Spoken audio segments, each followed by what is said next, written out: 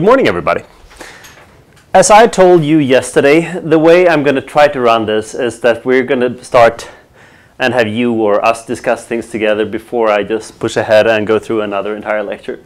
We'll see how well that works. If it doesn't work, I'll just keep lecturing. And uh, but my ideal scenario is that we spend so much time discussing that we don't make it through all the slides, and then I will just push those slides to tomorrow's lectures or whatever.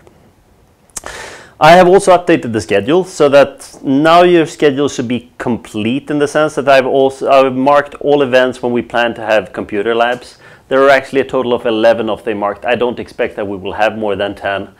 But I figured it's so much better for you to know roughly when we plan this and what pace we plan them, and then some of those events might disappear. That's probably better than the opposite, suddenly getting new events. The facility manager for the cryo facility is not here this week, so my plan is that directly after Easter, either Monday, April 4 or Tuesday, April 5, we're also going to go down and do a study visit and have a look, not just at the microscopes, that we can do anytime, but also have a bit of a look at their images, what type of data we can get from these things. And then Daria and Björn might tell you a little bit about the data processing they're doing for it too.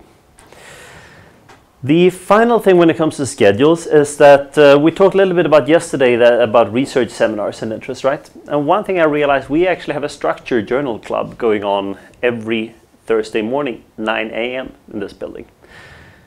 Tomorrow we're going to have Laura Orellana from my team uh, talking about epidermal growth factor receptors and models, and this is related to cancer models in mice. Actually, it's pretty fun stuff. She's gone all the way from theory and model building, and then she's been able to find likely transition states where these things bind. Is that something you're interested in? So maybe I will, uh, at least when these lectures fit, I might actually plan for us at 9 a.m. on Thursdays. We start by going to this journal club uh, or it's journal club. It's a group meeting, seminar, whatever, and then we start the actual lecture at 10 instead. Um, as always, the quality of these things, I think the quality of the research is always good. The quality of a lecture, or rather how interesting it is, it depends a lot on what you're doing. Some of these can be extremely theoretical. You might have a student talking about theory development on refinement methods. Uh, next week you have somebody talking about super applied stuff. Um, but that's the nature of research. People do different things. Good. I will plan that in the schedule, and I've also entered some other things. Uh, again, the idea with these seminars, they should be voluntary. You should go there if you find them interesting. I might add even more things, but don't feel that. Basically, I'm not going to ask any questions about the research seminars on the exam. The exam are going to be on the topic of the course. So what we talked about yesterday, as you probably remember, um, that's the advantage of doing things at full pace. You don't have a chance to forget. I talk a little bit about experimental, not just structure determination, but methods in general. And I, in particular, I brought up these two methods: X-ray crystallography, which has been the this has been the basis of almost everything we know in structural biology. But this is gradually giving ground, in particular, to cryo-electron microscopy. There are some other methods. Uh, I'm not. I don't even remember whether the book mentions them. In particular, one called nuclear magnetic resonance (NMR). I'm not going to say that NMR is dying, that would be wrong, but I think it's fair to say that NMR has always led a bit of a special life. Oh, we have a visit here. Come in. Um, and uh, NMR has an advantage of being able to show you how molecules work in solution, but it's not really a method that's resolution-wise is competitive with either of these two. We have a visitor today. As I mentioned to some of you, those six of you who are in the SciLife Lab Master Program, which is not everybody in the course, you're going to have a chance to do internships or what yes we call them internships right? Or summer projects in this building. Yeah, yeah. Uh, or rather everybody is of course welcome to do these internships but when it comes to the SciLife Lab students we managed to get this building to pay you a little bit for it. So as I told some of you maybe not the newest one Emma is going to spend a couple of minutes at least going through this. Okay we'll do that later. I can compile it Thank you so much, Emma. So, sorry for that brief interruption. Um, I am actually, there are a bunch of other things, but since we covered these yesterday, I will jump straight ahead to a more fun tutorial. These are roughly the study questions I gave you yesterday. And I actually, I think I removed one because I realized that's stuff that we don't really cover until chapter three or four, the hydrogen bonds in water. Sorry about that. But then I added, I think, one or two more, so we got all the way to 20. If I just start asking you things, absolutely nothing is going to happen here. So I have a suggestion. You start picking questions. And you can so pick a question you would like to answer and answer it. And the idea is that if you're quiet and wait, you can end up with the really hard questions at the end. Yes, go right ahead. Number four, one amino acid is not chiral, which one? Yeah. Yes, and why? No side chain. No. Exactly. The point is has to chirality requires four different groups around something. Two hydrogens, that criterion fails. Check. And now I was really close to start making marks on the screen, which I want. If you're really smart, you might actually have a. In theory, there are some questions that might have two answers, but I, I think that's extra information. Four, 19 to go. Is function induced structure? No. And why not? This is actually a hard question uh, that I did not bring up. So it's related to something that I'm not sure. Do we have a separate? Well, it's related to number seven, of course. Is it because multiple structures could do the same function and similar structures can do different functions? Yes, and it's related to what we call the central dogma of molecular biology, which is what? Sequence leads to structure, leads to function, but it's a directed graph. Arrows only go one way. Now, the complication that I did not bring up yesterday, oops, the complication that I did not bring up yesterday is that there are there is a phenomenon called convergent evolution.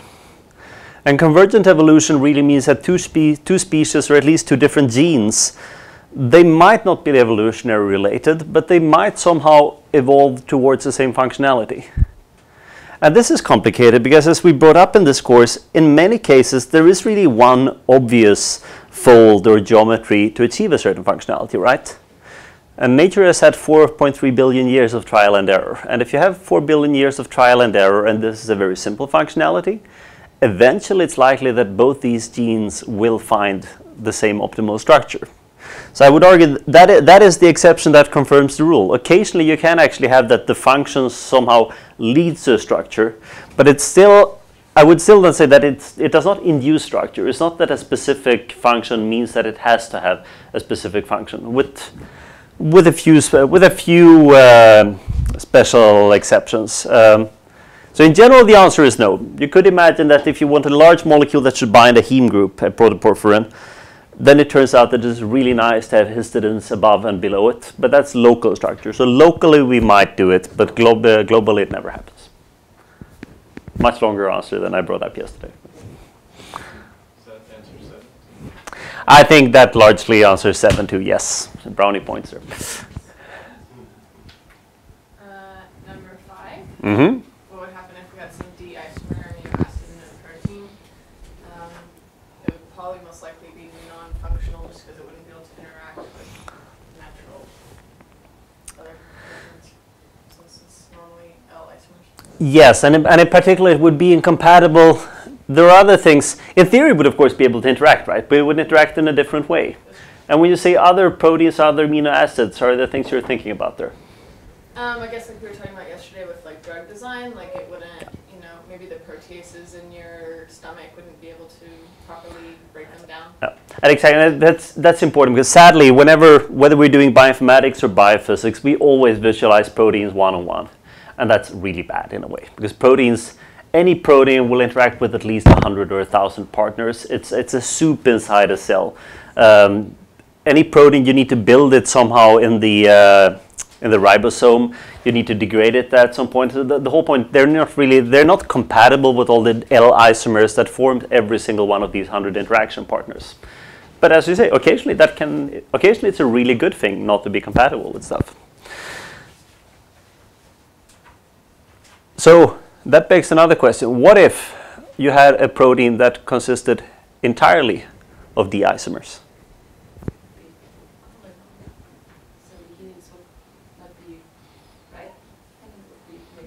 Yes, so the helix would be left-handed instead. And, th- and this, is, this is important, right? Because normally in, in physics, you frequently talk about symmetry. Um, and you can even talk about symmetry from particle physics point of view and everything. But in general, physics is symmetric. It doesn't matter whether you, you have the same laws of physics whether you're doing something on the left hand or the right hand side, right? But the problem is that this chirality leads to what you call a symmetry break. And that's why, for instance, an alpha helix is always right-handed, right? Because in principle, that's a break of symmetry. The mirror image obeys the same physical laws, but we can't form. Well, you, you can actually form a left-handed helix, but that's not really. That's not going to be a mirror. Even with normal L amino acids, you can form a helix going in the other direction, but it's going to be a very unfavorable helix that occupies a small part in the Ramachandran map. So the reason why alpha helices are right-handed is because we have the isomers we do. So why why do we have L isomers, not D isomers? Just by chance. I don't know. Nobody knows. Um, so at, at some point, maybe maybe nature started to evolve that way by chance. Yes, and and of course, when nature starts to evolve that way, we have to stay that way, or, or we're not going to be compatible.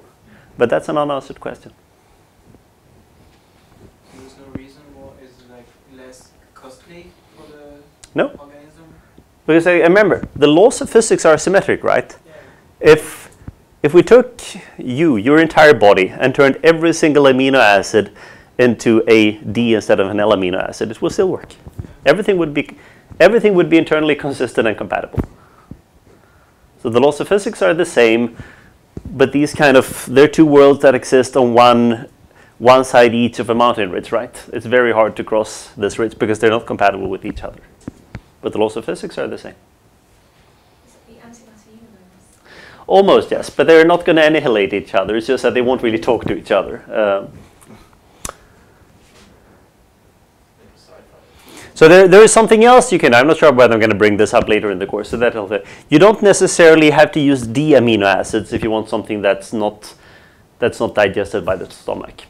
You can use non-natural amino acids. So rather than picking one of the normal 20 ones, pick something slightly different. And then, there are a handful of amino acids that are quite common to use. You can, for instance, there are lysines, chains of different lengths, and if these amino acids are different enough, they will usually not by, be degraded by the normal enzymes in your stomach, which is good if you want to have a way to administer a drug. Okay, more questions. The first one, when they charge Yep. acids. I mean, all amino acids are charged at physiological pH, but if you mean side chains, then there are three positive and two negative. Okay. Normal ones. So what do you mean when you say all of them are charged? The um, amino group and the carbon is. So you're actually right. And in one way, this might be a bad way to pose the question. Uh, so would you pose this question in a different way? I would rather, how many amino acids have a net charge?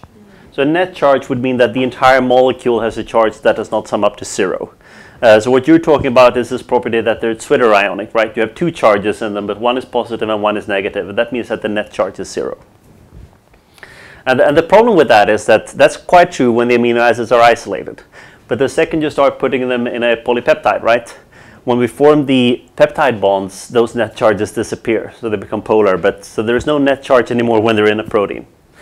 But otherwise, uh, your otherwise your answer was quite right. So you mentioned three plus two amino acids. Bring them up again. The names. Yes, Uh, uh, arginine. that's correct. Lysine, histidine. Yes, and lysine, arginine, and histidine are what? They are Positive. positive. Uh, and let's see, there should be some questions somewhere. Yes. We have questions two and three here.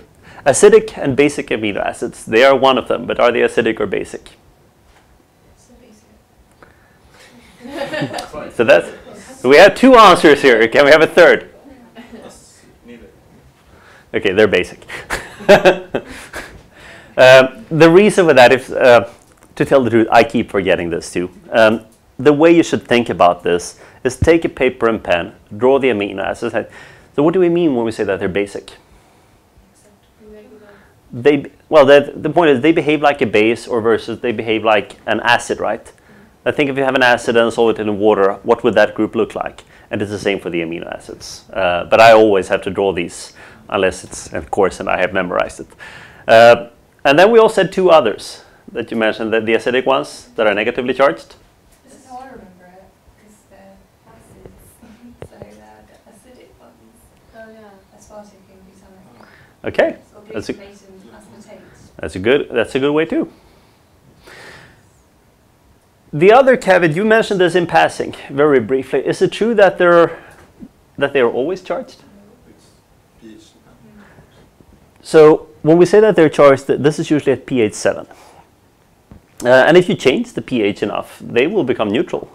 And there are other amino acids that will become charged. And normally lysine and arginine, they're at virtually any relevant biological condition, they're always going to have a positive charge. And aspartate and glutamate, the opposite, they're always going to have a negative charge. But there is one culprit, one really horrible amino acid to deal with when it comes to charges, and that's histidine because the problem is that normal those of you who have taken well inorganic chemistry they you might know that you talk about this pka values or something and that's the point where you start to switch the protonation state do you know what this value is for histidine 6.5. so the problem is right next to 7 but that value is if the amino acids exist isolated in solution. Well, that's really interesting if you're a pure inorganic chemist or something, but in life science, we talk about these amino acids in proteins. And the second this amino acid exists in a protein, first, you don't have any water around it, you might have an hydrophobic environment, it's bad to have charges in a hydrophobic environment, you might have a positive charge next to it, and then you end up with something called pKa shifts, meaning that suddenly this point is not at all 6.5 anymore, but it might be like 5 or 8. So the problem is when it comes to histidine, it's virtually impossible to predict exactly where this protein is going to sit. Um, because you have at first you might have you might have two protons, you might have one, and when you only have one, it can sit on either side of the histidine. But that doesn't sound like too much of a problem, right? We can determine that with the structure determination method. Which one would you pick? Why? Um, I know that uh, PKs can be tracked with NMR and also X-ray crystallography doesn't usually see the proton. So the problem is that the X-ray crystallography won't see the hydrogen. And that's, that's the only difference between these two states. It depends where you have the hydrogen, right? So why doesn't X-ray crystallography see hydrogens? Too small. Dusty. Well, X-ray crystallography doesn't see any atoms. It sees the electrons. And a hydrogen is typically very, well, a hydrogen typically is not too fond of its electrons. So whenever a hydrogen is bonding to something, it usually donates its electron to the other atom. So normally you have hardly have any electrons around the hydrogen, and that's why X-ray doesn't see it. Neutron scattering, on the other hand, loves to see uh, hydrogens. It scatters very well. Sorry, that was not stuff we covered yesterday. Um, but under, so it actually turns out understanding where uh, how amino acids are titrated and what charges amino acids have that's super important for lots of cases. And particularly, if you, for instance, if you want a drug that's supposed to pass a cellular membrane or something, you don't want it charged. That's bad. On the other hand, if you're having something like a voltage gated ion channel, a protein that should somehow be controlled by voltage, what do you need then? Well, what happens? So what happens with every single heartbeat or something in your cell? You have a change in potential. So what's going to happen to a ligand if you change the potential?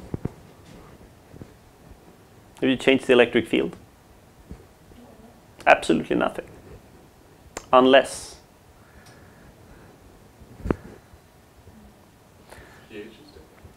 So if you have an electric field, a charge in an electric field will be subject to a force.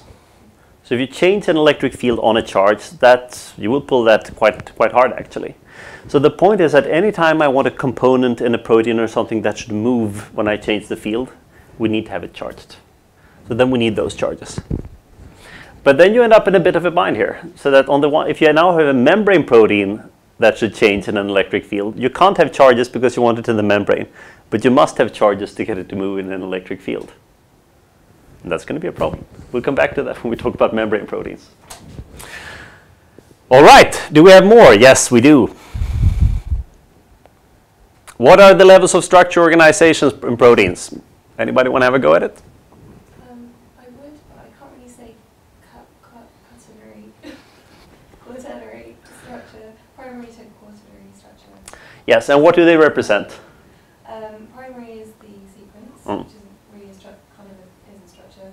Uh, secondary is lo- local, local structure, um, helices and sheets. But uh, we call and, uh, and that's sorry. Yes, you said that secondary. Sorry, you even said secondary structure. My bad. uh, tertiary is uh, one, like each domain Yeah. fold, and quaternary is the uh, well, more And we'll come back to what these domains mean. Um, the funny thing is that nowadays we have slightly different definitions of domain in bioinformatics and say physical chemistry. In bioinformatics, we think of a domain as something that's evolving independently. While in the terms of protein structure, you typically think of a domain as something that folds independently. So remember the, well, no, we have other questions about that. So in 99% of cases, they're roughly the same, but there are a couple of exceptions. Good. We have more questions. And the Watson Crick model Okay. that uh, I think the further models they always had uh, three strands of uh, nucleic acid, and I think they uh, say that it, the bases are on the inside and uh, the phosphatic acids on the outside, and that they they say that's the salt and not the acid. That Yes, so th- those were really important findings, and I that's very much related to the key findings. So when I said the key finding, this leads to something. yeah, that's a huge. Uh, so that they propose that there is a specific pairing of the bases that corresponds to the number of hydrogen bonds, right? So that you have A, G, C, and T, and A and T pair and G and C pair, but they can't pair any other way. And this, of course, when you have the specific pairing, this immediately leads to a proposed copying mechanism for the genetic material. You can split them, but then when they need to pair up, they can. There is a, for each base, there is only one other free base that it can pair with. And that's really the funny thing is that they didn't really. This was an observation that people had very early on that there appears to be the same amount of A and T in DNA, and there appears to be the same amount in G and C. But nobody really drew this conclusion until they saw the structure. And I think this is. It's important to realize. We just saw the Pauling structure yesterday, and it's so easy in hindsight to say that something is stupid while something else is so obvious. There were a number of amazingly smart researchers. They had the results. They saw that it was exactly the same amount of AT and GC. But nobody thought that this is this is going to change everything in the 20th century about molecular biology. So remember that I, I asked another another question in yesterday's lecture. Why did it take nine years for Watson and Crick to get the Nobel Prize? From the time they published their paper in 53 until they got the prize in 62 it's obviously not something you're going to read online. Because they did it with a model, they tried to build it somehow, and they ended up, because they took so many results from, other groups, just putting them. So the paper was published in already in 1953. This is an important lesson. So that again, this is not a leak, um, but so the, the all the, the secrecy has been lifted since it's more than 50 years ago, and there are a couple of professors in the Royal Academy of Sciences that have looked into this, and I think they're writing a book about it now. Even it turned out they were not even nominated until 1960. And uh, that's another one of these results. Science, we usually think of science in hindsight. It actually took seven years for anybody to realize that, hey, this might be a pretty important result. And today we think that it's obviously one of the most important results in life science in the 20th century. It took seven years for anybody to even notice. Or not notice. People, of course, cited the paper, and people in the narrow field felt it was really important. But the impact of DNA wasn't really obvious. Then, of course, 10 years later, when we had the genetic code and we started doing molecular biology and everything, nowadays it's obvious, but science does not happen in hindsight. And that's, I think, what you should think of now when it comes to choosing diploma work, well, so summer projects, thesis works, PhD studies, and everything. It's very easy to be seduced by whatever is hottest right now. Then neither Watson nor Crick would have founded molecular biology. It's important to dare to go to the white spots in the map, and they are rarely obvious. Um, more things. Mm, question, I guess it's 14 or 15, what did Anfinsen and Levinthal say? Mhm. So Anfinsen said that proteins fall into one single, uh, yeah, global minimum in the uh, free energy, in the free energy landscape, and Levinthal said that, uh, yeah, how can this happen uh, if there are so many? So that's quite right. I would just like to defend Levin Cyrus a little bit. Um, so Cyrus formulated that this is obviously a paradox. It's not that he disagreed. He agreed with uh, Christian, but realized there is something here we do not understand because obviously they fold, but we can't explain that simple from the laws of physics. All right, other stuff. Uh, phi, psi, omega, and chi. Omega is the peptide bonding. Yes. And that is by far the least important of those angles.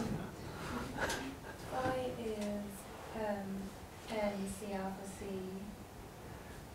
And psi. Uh, uh, you're forgetting one. There has to be four atoms in a torsion. Um, Now you're doing this the really difficult way. Because when you started, I started to think which atom is which. Don't try to think of those in there. Which one, which one is phi? That's the bond just be, that's the bond just before the C alpha. And if I need to know those atom names, I will draw it on paper. Mm-hmm. and then phi is the other one. Yes. And chi is the side chain. Yes.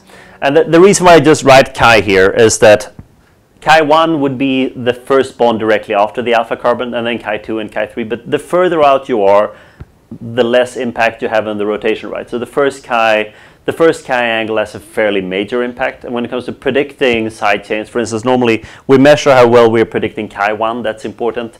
You occasionally measure how well you're predicting chi 2, and further out than chi 2, we don't really care about it.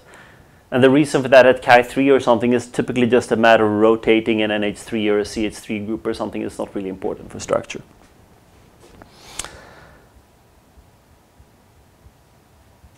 Water, we're gonna we can actually skip water because I'm gonna talk more about that today and tomorrow. Um,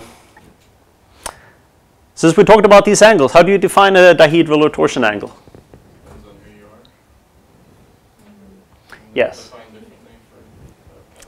Yes, that's when it comes to the actual angle. I think the, the point is, uh, if we forget about the two alternative definitions, so what's it's an angle, but what type of angle is it?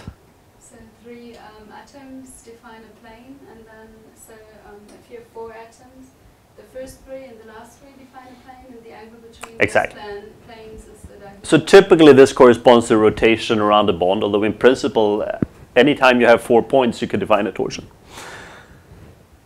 And that's right. So which ones are the most important degrees of freedom in a protein?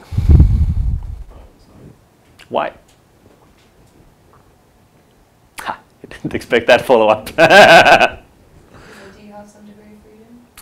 Um, yes, but maybe so start with the others. Why are, for instance, bonds and angles? They're obvious degrees of freedom. Why are they not important? Or they are important, but why are they not relevant for protein structure? Because it's unchanged. Yeah, bonds are hardly at all excited at 300 Kelvin, and angles might vary a couple of degrees. While the torsion degrees of freedoms, these energy variations are weak enough that it becomes relevant. They can actually change. We didn't do cis and trans. Mm-hmm. And cis and trans is what or what? Uh, one's the opposite of the other, so cis is one side, trans is the other side. So cis is like that and trans is like that. The trans is when they're on opposite side. Two large groups on opposite side of a bond, and cis when they're on the same. And so, what type of energies do we typically talk about in proteins? AT. No. Yes. Typical energies. And that's something we're going to come back to today. 330 uh. So that's a very high energy. I wouldn't say that that's a typical energy in a protein. So what roughly what type of energy is that? Uh, between two. No, I've forgotten. So that would be an electrostatic energy of two charges separated just by one angstrom. Typically, charges won't get that close to each other. So that would be an extremely. That's a type of energy that will never. That's a type of bond that would never ever break, a covalent bond or something. So the typical energies we relate to in protein, by far, if there's one energy you should remember, it's roughly how much is the energy of a hydrogen bond. And that is related to why water is such an important molecule in life. Five what? Kcals. Yes. So it's important that the units, right? And sadly, there's both kcal and kilojoules. You can use whatever you want, but don't mix them up. This is a relatively high energy. Normally, it will be formed, but it's weak enough that we can occasionally break it. And we will come back to later that the typical stabilization energy of a protein is in the order not just one hydrogen bond, but maybe 10 or so, almost regardless of the size of a protein. So they're not the stabilization energies of proteins are fairly low. Um, and finally, one thing that is just fun to what is post-translational modification? Since we talked so much about folding, I mentioned that briefly yesterday. Changing the structure after it's been translated. Yes, and by structure here, this usually means that you're modifying an amino acid or something that you might be binding. Typically, it has to with glycosylation or things like that. Occasionally, it can be binding a cofactor. Um, a hemoglobin, for instance, need to have the heme group bound, but the heme group is it doesn't consist of amino acids. You first you fold the protein, but while the protein is folded, you need to insert this other group. Sorry. So insulin is a very special molecule. Uh, so what, what insulin does is that the chain is actually cut. So insulin, the funny thing is that many, insulin was the first protein ever sequenced uh, by Fred Sanger. So insulin actually is cut so that it consists of two chains. Uh, so the small molecule actually has two parts to it. And the, the funny thing, just as I mentioned that it was a fun coincidence that we got the first two structures was hemoglobin and myoglobin that were so closely related. Um, I think it was just a coincidence that Fred Sanger started working on insulin. It wasn't specifically because of that. But yes, insulin is special in that way. Uh, but there are many molecules that have cuts, and in particular for higher organisms when genes are separated in introns and exons. Uh, and I will come back to that when we talk about structure. That's. Is there anything else you wanted to ask about related to yesterday or, or to bring up that we should discuss? Yes? Uh, uh, you mentioned that the Pauling and uh, Colin in 1951, they found the helix by man. But is there any software so far that predicts uh, the helix uh, by man? Or Sorry, that they predicted the helix by by math. Um, in, well, yes, in principle, I would say it's math. I, I think it was mostly paper and pen, though. That they said, just as Watson and Crick did, what you frequently did, since you didn't have computers in those days, we were frequently sitting and working with molecular models, and then you realize a molecular model is actually a beautiful. Well, before we had computers, is a beautiful way to see what rama, what torsions, phi psi, for instance, are allowed even I, when I was a student, we had a lab in Lund University in the south of Sweden when we sat and did this and see what regions in the Ramachandran diagram are allowed.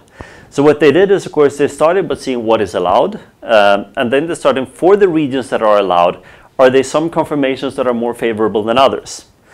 And I, I would, my hunch would be that the uh, alpha helix is likely the structure they found first because it's a regular structure, it's one that's allowed, it makes it very compact, and then you can form all these hydrogen bonds. Now, the second you've done this, you can of course start to show that this structure you proposed is better than all the other ones you've listed. Beta sheets is a, I would actually argue that beta sheets is a harder structure to predict because beta sheets, the individual strand is simpler, but then you need to start to making assumptions about global protein structures, how proteins would fold in general. Just from the point of view of a simple molecule, and remember, we didn't have protein structures when they did this. From the terms of a simple molecule that somehow folds upon itself, an alpha helix is a much more reasonable, predictable structure. The beta strands, although the individual strand is simpler, it's a more amazing prediction. But it's, yes, half math because they of course showed the energetics, but also just half paper and pen and sitting with a model, uh, model and realize what's possible.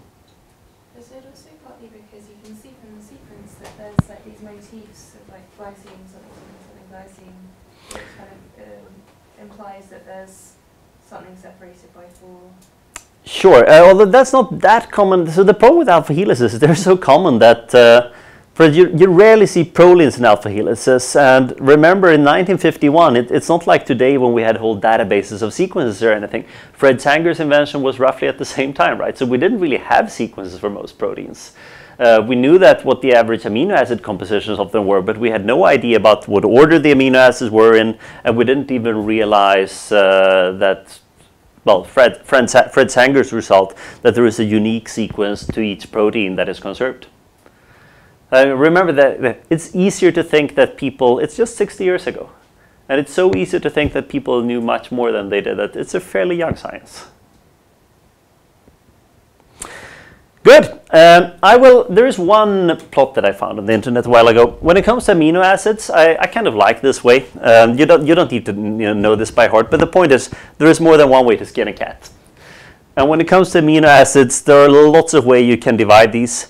Proline is all, pretty much always unique, but then you can say things that are amino acids that are aliphatic, that is the one that do not contain um, benzene-derived groups.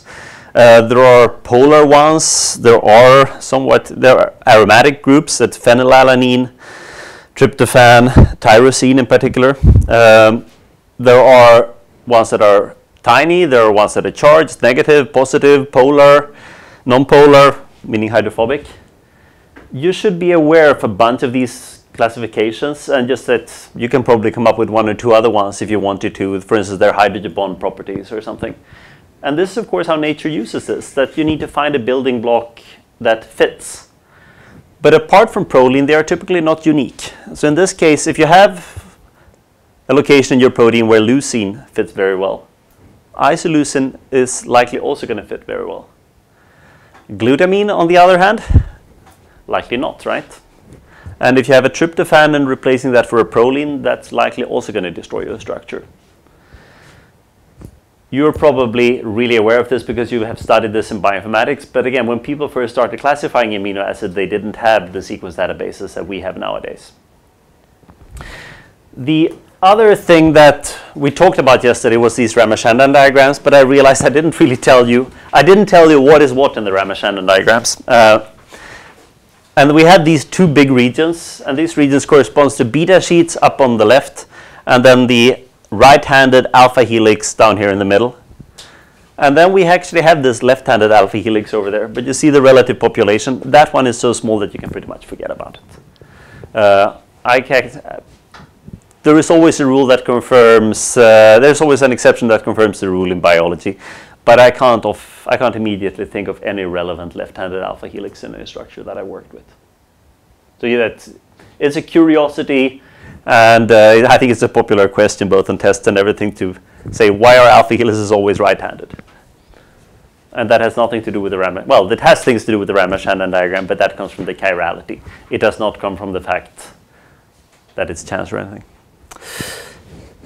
Does that mean that beta sheets are more common, or just that there's more possible angles? So I think this is no, so that first, the, um, the points here, this is likely just for one protein or something that this is not representative of everything in the database. Um, it's actually a very good question. I would argue that alpha helices and beta sheet have roughly the same uh, prevalence for globular proteins. When it comes to membrane proteins, alpha helices are much more common than beta sheets. The danger here, though, is that nowadays we have enough bioinformatics to be able to predict that this is true. A permanent danger in biology is that we're always biased by what we've seen this far. And in particular for membrane proteins early on, it was easier to determine alpha helical structures. And if you can only determine alpha helical structures well, suddenly you can end up with lots of structures and they're all alpha helical. And then it's very easy to say that by definition all membrane proteins are alpha helical. That's not true. That's just because we had it was difficult to determine the beta sheet ones, and now we have some beta sheet ones. Um, for structure, I would still say that it's whole, but it's, it's, very important to be aware of our bias in the structure determined methods, for instance. We only see what we can see. My plan for today is that we're going to have a little bit fun. I'm going to show you some movies first. Uh, and then we're going to talk about interactions in proteins. So if you felt that there was a torrent of slides yesterday, for better and worse, we're going to have much fewer slides today. I'm going to bring up this the concept of semi-empiric modeling, and part of the interactions is going to be repetition from yesterday, and that's quite intentional. This leads to some deep questions about how should we model nature in general. Is quantum mechanics always the answer in life and biology? Um, I will, well, the partial charges are probably part of the interactions. I touched upon them yesterday. And then we're going to dig a bit deeper into these fundamental properties of proteins. And then after the break, we're going to have fun because then we're going to start having some, I wouldn't say hard physics, but there's likely going to be more equations than you've had previously in these master's programs. So I'm going to start talking about energies, energy landscapes, and in particular, statistical mechanics and the Boltzmann distribution. I predict that some of you are going to think that this is a bit difficult in the maths, and that's why I have fewer slides today. We will take the time we need for this. If there's one thing I can recommend you, if you don't follow me, stop me, and we'll take it again don't think that you will read this up tonight at home or something. It's not going to be easier for you to do this on yourself. Um, the good news is that the second part of this slide is going to be a little bit of math, and then sometime after Easter, there's going to be one more lecture when I actually drive this in the general case, and then it's going to be even more math. But normally, we're going to have less math than we have in this parts. The funny thing, though, is that this will enable us to predict some pretty remarkable things about proteins, and actually not just proteins, life, molecules in general. This is some extremely powerful methods from physics. And then I'm just going to tempt your appetite a little bit with entropy and free energy. Uh, we will come back to that tomorrow. So if you don't follow me here, focus on the Boltzmann distribution, because that's also what we're going to do in the lab this afternoon. So let's see if you can catch what this is. This is an old movie. So Kendrew, remember that that was the guy at LMB who got the Nobel Prize for the molecule. So how old do you think this movie is first? Do you, do, you, do you see the molecule in there? Uh, so that's the prosthetic group. That's the molecule that actually binds the oxygen. Oh, sorry, this is the molecule that binds the iron that in turn binds the oxygen. So this is, if I recall, 1966. And the computers we had at that time was, that's just a short movie. It's not quite the type of graphics you have on your phones or something today. Let's see if I, th I think I should have one more here.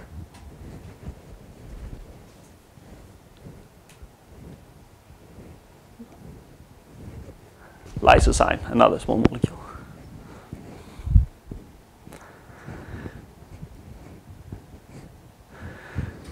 So these are not even simulations or anything. These are just rendered images where you try to trace out the backbone of these molecules.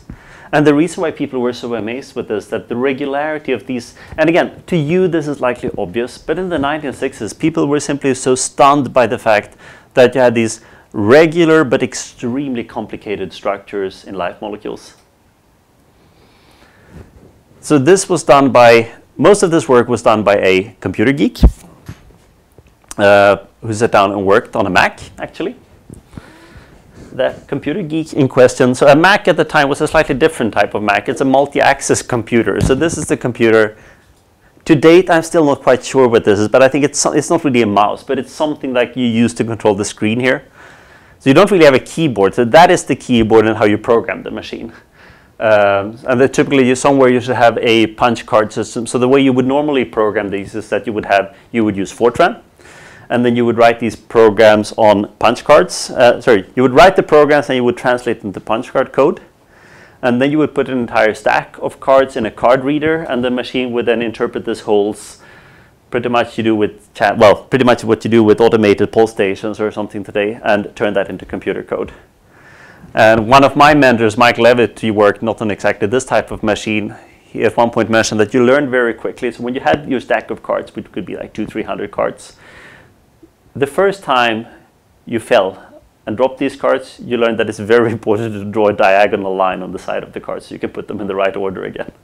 because otherwise you had to go back and redo everything. And these were the days, access to these computers, it was not a matter of doing up and doing a lab. As a student, Mike mentioned that he used, you, you used to be happy if you could get access like at 3 a.m. in the morning or something, and then you could have a couple of hours of time on the computer. This is likely one thousandth of the power of your iPhone. Um, the cool thing is that that computer geek was Cyrus Levinthal. Um, so you think of these people as old gray-haired professors, right? Uh, but Cyrus too was young at one point in time. And Cyrus was one of the first people, oh, you actually see a view, one of the molecules there. Uh, so Cyrus was one of the first people to sit down and work on modeling of proteins by computers. Not simulations, just drawing the structures. And there is a famous paper in Scientific American in 1966, which is really hard to get online. So a couple of years ago, I went down to a library and dug up all the old issues of Scientific American and copied this. I have a PDF on the website, uh, at least of those of you who are logged in or not. And I guess since 1966, technically the copyright is probably expired. Well, the copyright has expired, so it's exactly 50 years ago. So I think I'm fine there. Uh, it's well worth reading. It's like Scientific American, so it's popular science in the 1960s, Scientific American was a beautiful paper because popular science today, well, popular science in the 1960s would probably be considered real science by many today. It's a paper written by scientists for scientists, but in different areas. It's well worth reading. So if that was the amusing part, um, I'm going to go through, it. there's one concept that the book brings up, and when it comes to bonds, it's not going to be the main topic of the course, but I want to spend two slides on it anyway, because it might help you later. Um, and it's related to these things I mentioned about quantum chemistry. You're not going to be doing, you're hardly going to be doing any quantum mechanics or quantum chemistry in this course. Actually, scratch that. You will not be doing any. But occasionally it's good to think about what are the limits of classical, the way we describe things classically, and when do we need quantum chemistry.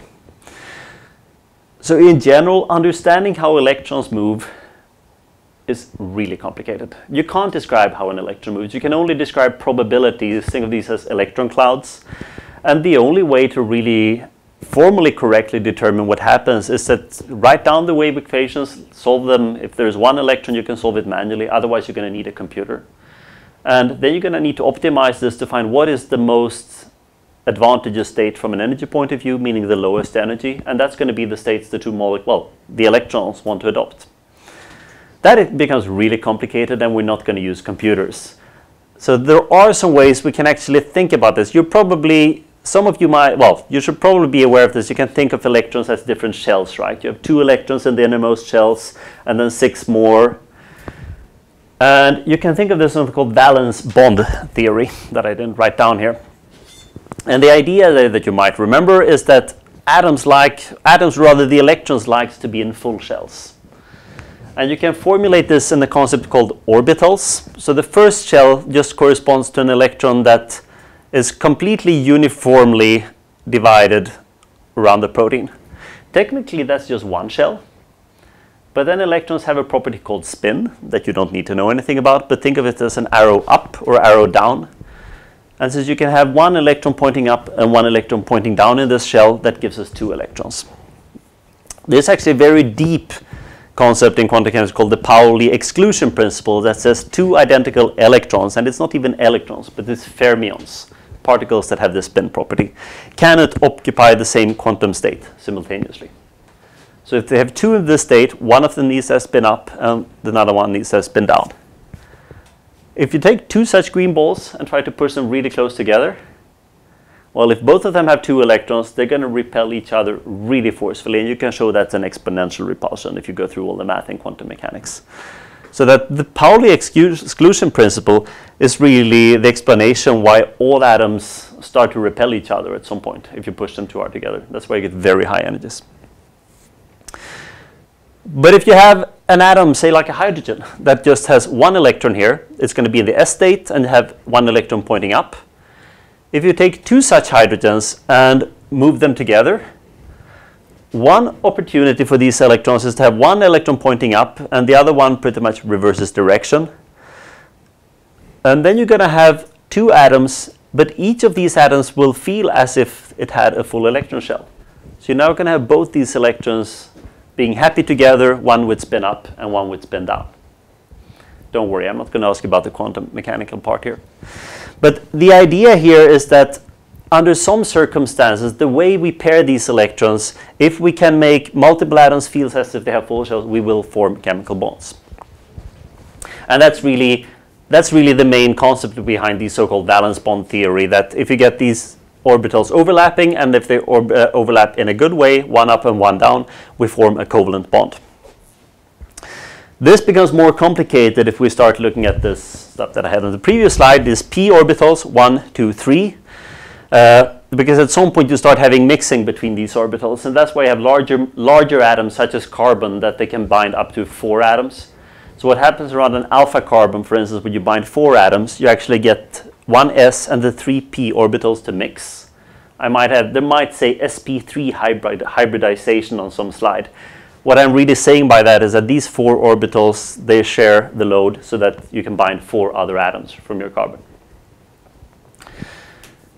So why do I keep bringing this up? Uh, well, the electrons, this means that the electrons are responsible for two or three things. First, they're responsible that saturated orbitals, due to this Pauli exclusion principle, they explain why all atoms repel each other if you push them close enough. And even if you didn't have an atom, if you were to push them even further, at some point you're going to have the protons and neutrons inside the chain repelling each other, the protons in particular. But the same, the very same electrons in this case, they also explain why we can form covalent bonds. It's pure quantum mechanics. And at this point, we should start getting really worried because if we're going to need to understand these interactions, we should just change the topic of the course. We should spend the next four weeks going through quantum mechanics. So what happens if we for a second ignore that? Go to very large distances. They attract each other. Yes, well, in general, atoms will interact with each other, but how do they interact? No, they attract. Oh, sorry, they attract each other. Um, well, yes and no. Yeah, in, in principle, you're right. So first thing is this depends on the charge. If you had things like two positive ions, right, they're going to repel each other. That's simple. That's electrostatics. So we'll hang on with that for a while. But if any normal atom that is not charged at large distances, to first approximation, we just say that they don't interact, right? Because they don't have charges or anything. But if you think of a small atom like water, remember what I said yesterday, that water has a very large negative charge here and positive charge here. So this is a dipole. I usually draw it at an arrow pointing that way. Now, if this atom, this, this water molecule is interacting with another atom like xenon, charged, non-charged, the first approximation, that shouldn't be anything. But the xenon is not a point. The xenon consists of A, a nucleus, and B, electrons. So with this, and the nucleus here is quite heavy, why the electrons hardly weigh anything. So what's going to happen here? Our negatively charged oxygen is going to do what to the electrons? No. You'll attract them to one side. What's the charge on the oxygen? Negative. So what will the oxygen try to do? So if we take all the electrons on the xenon and push those slightly to your right, and while the nucleus, uh, slightly now, we, we're, we're talking about tiny fractions of the radius here, right? So if we take all these electrons and push them slightly away, this is going to be somewhat better. We can't push them too far away because these electrons will also be happy to interact with the nucleus in the xenon, which is positively charged. So then you have a xenon with a positively charged nucleus here, and the electrons push slightly to the right. But hang on a second. That's just what we had in the water. So if you have the positive and negative charges no longer centered on each other, suddenly we now have a dipole here too. So one dipole will induce another dipole in the second atom here. And that's occasionally what we call dipole to induced dipole interaction. The only reason for bringing that up first is to get to the second point, because it gets more complicated.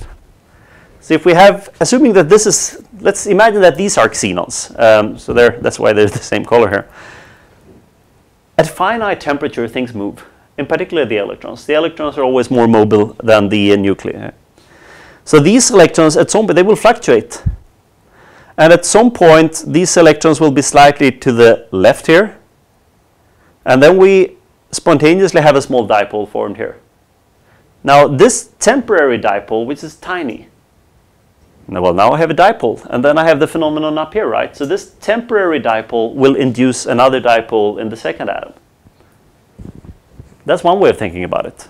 The book does something slightly different. You can also, if we started by having these conformations, if we start imagine that we had these electrons right on top of everything here, what happens if I take all these three sets of electrons and move them slightly to the left, as I've done here? Well, there are two parts of it. What happens to the interactions from charge to charge to charge? Does that change? No, nothing changes because they're the same relative distance. What happens with the interactions from those electrons to those electrons to those electrons? Nothing because they're the same distance. But what happens to the interactions between the positive charge, negative electron, positive charge, negative electron, and positive charge? they're slightly better, right? Because suddenly you have the electrons right between two positive charges, and that positive charge will be right between two electrons. You can think of it any way you want. Um, this you can actually derive. You don't need quantum mechanics for this. This is just small dipoles and uh, purely classical electrostatics. And this was proved by London that this is proportional to the sixth inverse power of the distance, and it's called dispersion. Is this important? Wouldn't talk about it if it Can you imagine anywhere in life where this is relevant?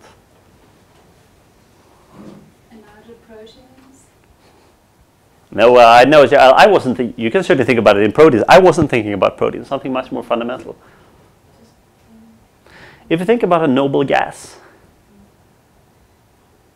so what do you know about noble gases? Yes, which means. Yes, and that you can formulate now that they don't they don't react or interact with anything, right? So at what, do you know at what temperature helium becomes a liquid? No, well, negative 200 Kelvin doesn't exist. A, a couple of Kelvin, I think it's usually 4 Kelvin or so. But that's strange. Why does something become a liquid? Because they're interaction, but we just said that it's a noble gas and they don't interact. The reasons why even noble gases eventually become liquids are because of dispersion interactions. But these are, ex- it might tell you something that it happens at 4 Kelvin. These are extremely weak forces. They're so weak that they're only really relevant when almost all motion in the system has ceased. So that's why noble gases only condense when you're at a couple of Kelvin.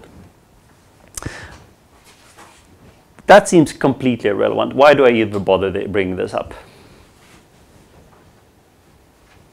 These are the kind of interactions that appear in uh, non-polar molecules. Yes, if you don't have any charges, these are the only interactions we have.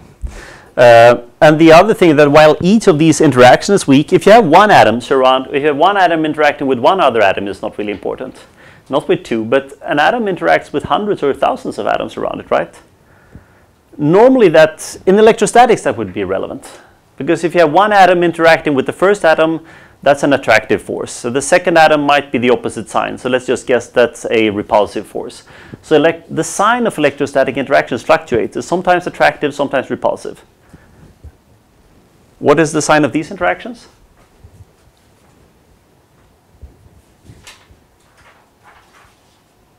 Attractive or repulsive? They're always attractive, right? So it's small, but if you sum up enough of these, no matter how small it is, if you sum up enough of them, eventually it will become important. Well, with electrostatics, you never know. Um, it can be the net results of many particles interacting with electrostatic can be either repulsive or attractive. The other thing you should be aware of, the larger an atom is, the larger its electron cloud is, and the easier it is to deform the electron cloud. And that's why larger atoms tend to have stronger dispersion interactions. So that friend of order would just say that sadly we're going to need to change the topic of the course and turn this into a quantum chemistry course. Um, the only problem is that there are, and, and formally that's correct, right? That we just described a whole bunch of things that you need quantum chemistry to treat really accurately. The only problem is that there are compromises in life, and that includes quantum chemistry. Uh, quantum chemistry does something beautifully. When I was roughly your age, I remember having a teacher speaking that it was so amazing because we could now determine the electron structure of benzene, six atoms. Now, there are a lot more than six electrons in that molecule, and you probably know what the structure of benzene is, so that the fact that a computer could also tell us where the electrons are, from a fundamental science point of view, it's important, but it doesn't really teach us a whole lot about benzene. Computers are a lot faster today. Today you can handle roughly 100 atoms. And if that doesn't sound like such an amazing uh, advance in like the 30, well, the 25 years since I was your age, this is because quantum chemistry scales really bad. Normally in chemistry, if you have 10 times as many of something, it would be 10 times costly. Quantum chemistry typically scales to the fifth or fifth power or so. So if you have, if you go from 10 ad, one atom to 10 atoms, or electrons, it would be something like 100,000 times more expensive. And that's roughly how much faster computers have gotten. So the problem, I don't know about you, but there are not a whole lot of interesting proteins of this size. But that's a, that's a false argument. I can't say that just because I would like to study proteins, I'm going to study proteins with sloppy methods because the correct methods I can't handle. That's kind of irrelevant, right? We're not going to teach anything about proteins. It's not really valid. Uh, the other problem is that, did I say that the quantum mechanics I briefly described, that's completely false. Because we kind of just assume that we can study the electrons while the atoms don't move. To do this correctly, you should of course use a time-dependent relativistic Schrödinger equation. The good news for that is that it's possible to solve that one for one electron.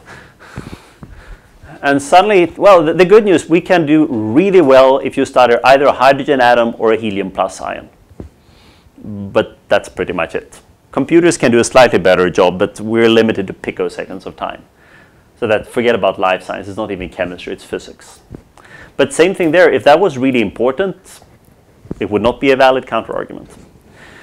The other problem, though, is that when we study these, it's not just a matter of what we want to study in our atoms. Uh, what you typically do with quantum chemistry, if we assume that the cores don't move, if we don't have any atoms moving, you're studying things at zero Kelvin. And now we just start to become a bit worried, right? This is the so-called better method. Life science at zero Kelvin. The other part, those 100 atoms, we're kind of forgetting something. We're going to need water. So are you seriously going to study life science in vacuum? So the problem, this is by no means, this does by no means mean that quantum chemistry is bad. Quantum chemistry is a really important method.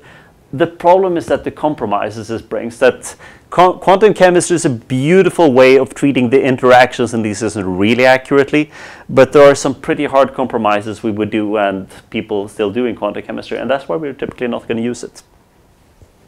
Now, all these arguments, at least the first few ones here, would be false if we absolutely needed quantum chemistry for that. But just because quantum chemistry can describe something, or quantum mechanics, that doesn't mean that you have to use quantum mechanics for it. And in fact, as you see on the slide, this system too is really well described by quantum mechanics. I'm not sure about you, but my kids usually don't use quantum mechanics to predict how a football is going to move. Uh, same thing if I go through this door, technically I diffract a little bit because I'm going through a slit. Now the slit is not so thin, so I don't really, it's not really going to influence my life that my atoms start to diffract, but technically I do diffract a little bit. And this has to do with this complicated concept. We need to focus on the most important part of a system. And it turns out, typically for proteins, these large molecules, with a few exceptions, if you form or break bonds, you need quantum chemistry to describe that. But remember what we told yesterday, bonds don't usually even vibrate a whole lot at 300 Kelvin. So for all practical purposes, if we're going to study proteins, a protein at room temperature is more like a football. It's important to have the water around it. It's important to account for the fact that proteins actually do move. The exact quantum chemical interactions of the protein we can usually ignore a bit. And I think the conclusion of this is really that quantum mechanics and classical mechanics, they really describe things on very different scales of length, time, resolution, and everything. Uh, this is a funny slide that the Nobel Committee had a couple of years ago. You frequently use a cat to describe quantum chemistry uh, based on Schrodinger's cat, that is duality, where the cat is both alive and dead in the box. And this of course, Isaac Newton. Uh, and you can think of this as competing theories and everything, but in particular modern science, I think we tend to ignore the beauty of Isaac Newton. There is no question that quantum mechanics is a more detailed theory in a way. What I find beautiful with Isaac Newton, Isaac Newton managed to develop, describe the world in a way that five-year-olds can understand it. Have you ever thought about the concept of a force? A force doesn't exist. There is no such thing as a force you can think in terms of potential energies or something, but the force is really just Isaac Newton's way of describing how things interact. And any five-year-old will have a grasp of force if you push something. And okay, we, we forget the beauty of simple models, and Newton's equations and Newton's mechanics is one of the most simple and beautiful models there is in history, and that's why we're lar largely going to use it. The problem, though, is in some cases, in particular enzymes or so, you really need quantum, eh, quantum mechanics. So that there were a couple of groups in Israel, in particular, that uh, started to look into this in the 1960s. I'm sorry, I think I might have screwed up the order in which I build this slide. Yes, sorry. Um, the problem with quantum mechanics is really that you can derive all these parameters and we could then try to derive the charges and everything from quantum mechanics and just extrapolate. But extrapolating this would this would be like me trying to point out the location of the George Washington Monument in DC from this room. It's roughly in that direction. But if I point here, I might as well point to Mexico City. And that's if you, what we're trying to do here. If you extrapolate 15 orders of magnitude, you're going to be wrong. It doesn't matter what theory you use. So that's not really going to work. And then there was a group by Shneur Lifson uh, at uh, Rehovot in Israel, small group. He had, Shneur had one student working from Ari Warshel who sat down and started to look into this. That are there alternative ways we can describe this? And Ari really started with quantum mechanics. But one of the beautiful things they realized is that you don't need to use quantum mechanics for the entire system. In their particular case, they looked at enzymes. and that the very specific binding site you need quantum mechanics. But for the rest of the protein that doesn't form or break bonds, you can use something much simpler. But the much simpler thing will kill you when you extrapolate. So they realized that you can cheat. Because sometimes in life you're allowed to cheat. So one way could of course be that I try to do the world's most accurate quantum chemistry calculation to determine the parameters of a water molecule so that I will reproduce the specific heat and density of water. That would be an amazing calculation, right? But why on earth should I do that calculation? We know what the specific heat and density of water is. We can measure it in the lab in 10 minutes. So why do you try to use a computer for something we already know? So their idea was this really what you call semi-empiric models is that fit these parameters instead. And that's what I mean by cheating, that we already know the results to adapt the parameters so we will get the density and heat of vaporization of these molecules. And this was really the beginning of all modern molecular modeling that you could suddenly treat large, gigantic systems.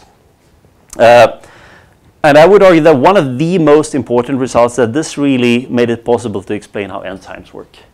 That we understood enzymes is mostly about electrostatics. And what I mentioned briefly yesterday, that an enzyme binds the binds the components we need in the equation so that they can somehow form or break a bond. We reduce the energy of that highest barrier we need to get over, and then we release the product again. And this was really Ari in particular who showed in his really early work, and they got the Nobel Prize together with Martin Karplus actually a couple of years ago. Martin is the one who pioneered simulations and molecular studies of proteins.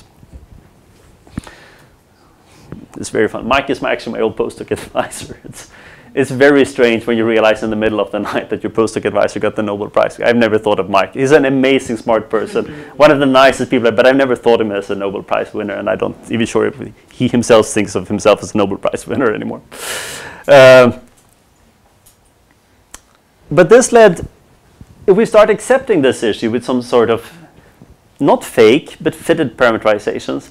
All these complicated things with electron clouds moving and everything, we can start to describe that in terms of rather than having electron clouds that are offset, we can say that on average you have a slightly larger point charge in this particle and a point charge which is positive on the hydrogen. This is of course wrong. These are not point-like particles. These are electron distributions. But if we have them as point-like particles with some non-unit charge, we can treat this with classical methods. And in a benzene, so water has very high partial charges, and something like benzene here, you see it has very low partial charges. It's a largely, largely hydrophobic molecule. So that was one part. Now we can, at least we've gotten away from the worst part of all the electrons, right? We can describe the how charges, partial charges allows us to describe the distribution of electrons without using quantum mechanics. There is another part called bond stretching. Um, so if we look at a small bond here between two carbons, for instance, in principle, this is really complicated because you should have the, the blue potential here is what's called the Morse potential that you can't get very close and at very large distance, eventually the atoms are going to release and unbind. But that's not even enough because it's also a quantum mechanical oscillator. So it's not a classical oscillator along the blue curve, but in principle you have these discrete energy levels that are that you can determine with quantum chemistry where the molecule should be placed. But remember what I said that normally on average these things are not excited at room temperature. So typically at room temperature we're going to be there. And then we can do a plain simple harmonic approximation, the green curve here, just assume that this is a second order potential. Sure, if we start having, if you start to simulate, if you start to examine these molecules at a thousand or two thousand Kelvin, then you start making errors here. But at 300 Kelvin, forget about it. It's a beautiful approximation. In fact, the best approximation would likely be to just have a small stiff rod and not allow them to move at all. So this is a solved problem. We don't need quantum mechanics for bond stretching. Angle vibrations, roughly the same. As I mentioned yesterday, these can move a little bit, a couple of degrees. But you don't need quantum mechanics to describe that. Uh, we can use a classical, simple spring function. Um, it's not a perfect approximation at 300 Kelvin, but pretty darn close. Um, so they move a couple of degrees. Solved problem. We don't need to worry about it. You're pretty much never going to worry about bonds or angles in a protein. And the third part are these torsions, or dihedral angles. These are considerably more complicated because it's not just a matter of getting a ground state right, right? These are the important degrees of freedom that the energies are so low that you actually do move, and we've talked about the definition. So the fact that they are easy to alter is good in a way, but because they are easy to alter, it's not just enough for us to describe them well in the ground state. We need to have a reasonably good description what happens when they are in other states. And you can describe that in a fairly simple potential. Um, just use a sine or cosine function. A very tiny molecule like ethane, so CH3, CH3. If you have the points where these hydrogens are placed right next to each other are going to be a bit bad, a high. And the points where they are facing in different directions, they're going to be much better energy-wise. The energy for this, the peak here is roughly 3 kilocalories per mole. So it's a much, much, much, remember the 300 kilocalories per mole we mentioned for electrostatics? This is a tiny energy. So this is going to be relevant. The molecule will be happier there, but we will occasionally also see it there. Let's see, I think I can start a movie here. Yes, so this is butane. This is a much more complicated molecule because you have two large carbons here. So here we are in the trans state. That's going to be really good.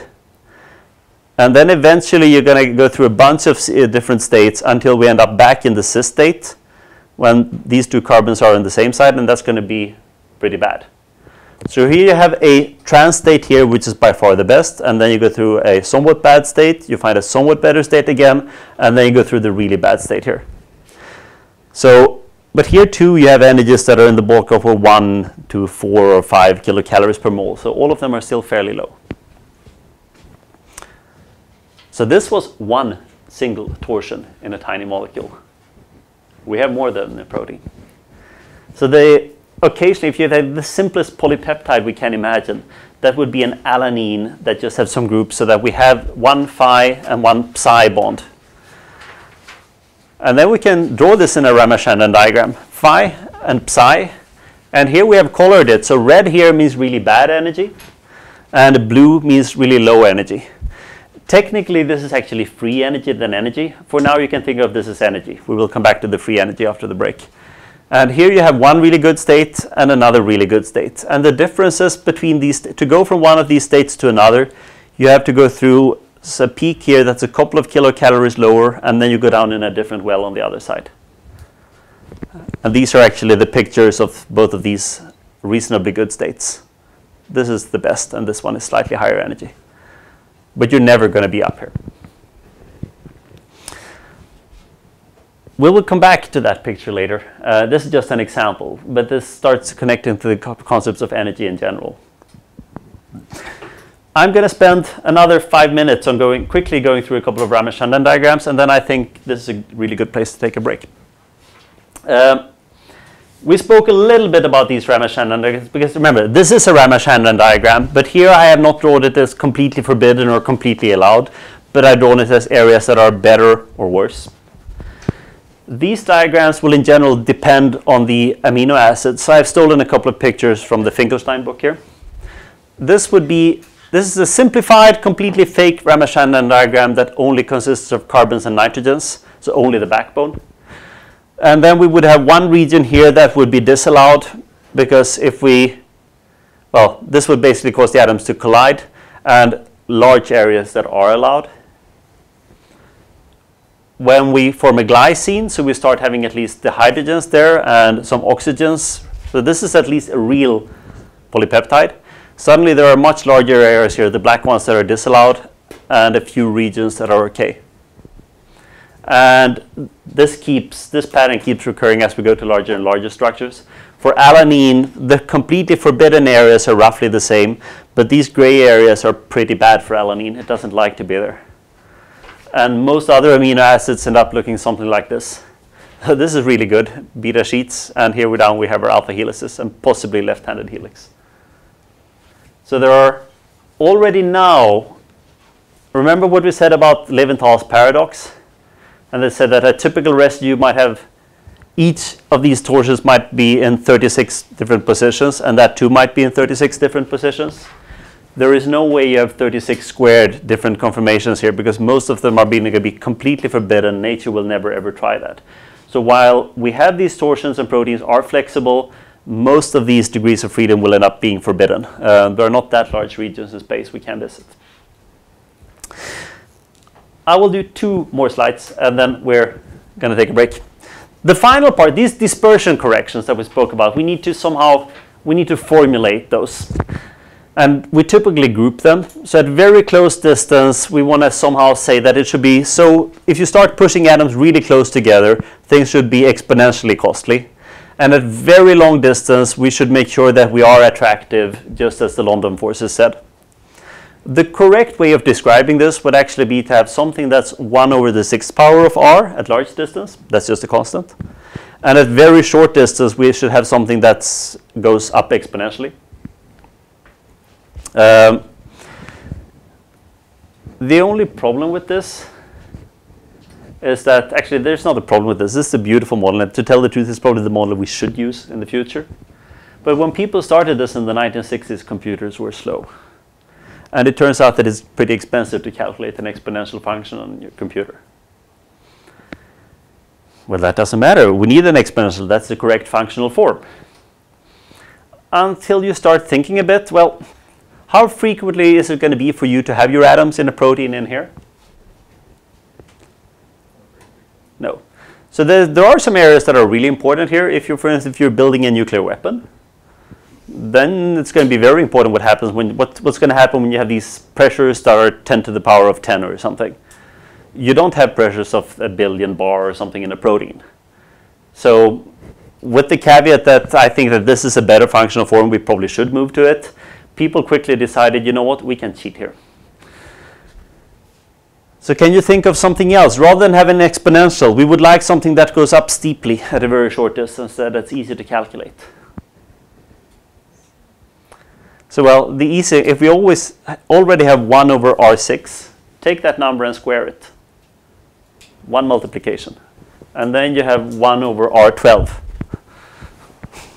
And that's in practice what people have been using for 30 years. So then you have a potential that looks almost the same. It goes up as 1 over r12 there, but it's still attractive at very long distances. The reason why I show you this slide is actually this diagram that you also have in the book. So the energies we talk about here. The energies you so first the distances here is in the ballpark of two to three angstrom here. So it's very so that's when atoms start to uh, the the van der Waals or Lennard-Jones distance between atoms. But the energies you're talking about 0.1 kcal per mole. So they're extremely weak interactions.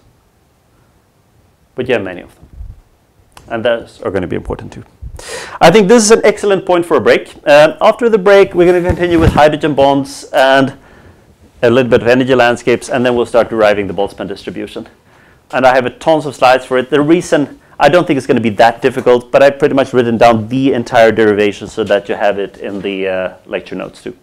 So I, I spoke about the Lennard-Jones interactions before the break, um, and the final part of this has to do with hydrogen bonds in proteins that I touched a little upon yesterday. Hydrogen bonds are typically perfect in ice. In ice, hydrogen bonds would be perfect. So you have the oxygen and the hydrogen, covalent bonds, but because the oxygen is so electronegative and will pull the electrons to it, that will almost create something like half an ion on each hydrogen, and that will cause it to form these really Technically, we call it an electrostatic interaction, but this one is so strong that it's kind of halfway between a normal non-bonded electrostatic interaction and a covalent bond. Hydrogen bonds are really important. And that brings you to this other question is that what happens if we start from ice when virtually all of these hydrogen bonds are formed and then we start to thaw the ice? We add heat. As you saw in the movie yesterday, we somehow break the hydrogen bonds, but the question is, is it that you break some hydrogen bonds while others are formed all the time? Or do you somehow distort all hydrogen bonds a little bit? So this is this is actually it actually happens to be the right answer, but it's not a trivial answer, and it's certainly it's something we didn't know until like 20, 30 years ago. And this is relate. This is gonna eventually going to be turn out that this is a phase transition, uh, but it's also intimately related to what happens, for instance, in a protein when a protein folds or something. And that's why I'm, the book has a plot in it, but that's why I'm bringing it up here. So this is a very simple model of an IR absorption spectra for the oxygen to hydrogen interaction, and basically the wave the wavelength here will give us some information about what type of property this is involved in. And we have three types of samples here. We have one ice. So this is a sample where all the hydrogen bonds are actually formed. And then I have a clear peak at a particular frequency here that corresponds to actually having a hydrogen bond. The second one is a bit strange. So it's water but water is not the solvent here. You have a tiny amount of water in a carbon tetrachloride solution so this is water that does not form any hydrogen bonds. And then you end up having a resonance at a different, a peak at a different frequency. So if we had a structure in water where some hydrogen bonds kept being maintained while others were completely broken, then you would have a system with two peaks, right? One peak here and then we would go down and you would have one peak here. But it, what happens in practice is that you get this third effect, a very smeared out spectrum instead, so that all hydrogen bonds have moved a little bit more to the distance when they're not formed. Very, very simple setup. And we're going to come back to this when we talk about proteins. So these, the beauty with these simple measurements is literally they are simple. You can do it in a, an equipment that costs a couple of hundred dollars or something, and it gives you an absolute answer. In this particular case, either we would have two peaks bimodal distribution or one peak. We have one peak, and that means that all bonds tend to become more loose in water. You have no idea about the stuff that's written about hydrogen bonds in water. Dave Chandler is an amazing professor in California, and he keeps he keeps reinventing this thermodynamics. And every time I read a new paper from, I'm so astonished. Uh, water is an extremely complicated liquid, and that. But with that, we can start to say a little thing about these hydrophobic effects. Um, we're going to come back to this later on. Remember what I said about the hydrogen bonds, that they're so strong, they're almost a covalent bond. It's a lot of energy, so waters will do almost anything they can to maintain their hydrogen bonds. 5 kilocalories might not sound like a lot, but compare these to the 0.1 kilocalories per mole, that was the non-bonded interactions. If you start losing your hydrogen bonds, that's a lot of energy, particularly if every single water molecule loses one. So what happens if you now put a hydrophobic solvent like a xenon or something in there? What these water molecules do, they will not just be happy and accept that they suddenly lost half of their hydrogen bonds.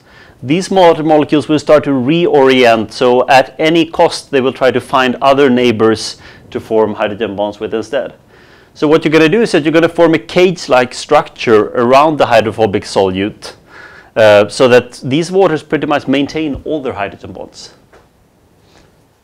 And this is a bit unexpected, right? Because you would imagine that the reason why it, the reason why it would be expensive to solvate something hydrophobic in water would be that we started to break hydrogen bonds. That's not true.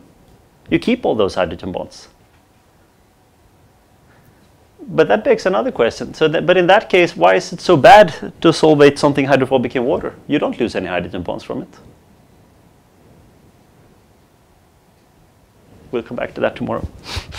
Uh, but that also, because, because this is so bad, you start having these oil water effects that rather than having two small, small oil droplets, it's better for the oil to form a larger droplet so that you have a smaller interface to water. And this is also an effect that happens in proteins, but I will go through that later. So just to sum up all these interactions, this is a slide from Wikipedia actually. And it's kind of nice because it summarizes everything we have in proteins. You have bond vibrations, you have angle vibrations, you have torsions. You have some Lennard-Jones interactions between any atoms, even if there is no direct bond between them. You have some electrostatics that we don't show here, and then you have some sort of hydrophobic effect that is roughly proportional to the hydrophobic surface area. And we'll come back to that, how we calculate that tomorrow. Yep? One question. So, um, regarding, for example, the torsion angles and the Lennard-Jones uh, potential, aren't they sort of measuring twice the same thing? Because angles would have no effect if there were not uh, side groups. So that's that's a that's question way better than you think. Um, it's both right and wrong. Um, so first, the main effect from the torsion angles is actually not true. Um, even if you didn't have anything out here, the way electrons in this atom and this atom, all right, electrons don't like, because remember, there, there is a sp3 hybridization here. So this atom has electrons in four directions. This atom also has electron in four directions. Even if you had no groups whatsoever bound to this, these two atoms would still have a torsion potential that looks roughly like this. And that had to do with the way the orbitals are oriented. So it's not, this effect is not primarily because these two atoms bump into each other or something, but it's an effect of the electron distribution along the bond. However, uh, then it's certainly also an effect that if you rotate around that bond, there's going to be an interaction between that atom and that atom. And you can choose how to describe that. Occasionally we try to include that in the torsion, and occasionally we try to include that in the Lennard-Jones interaction.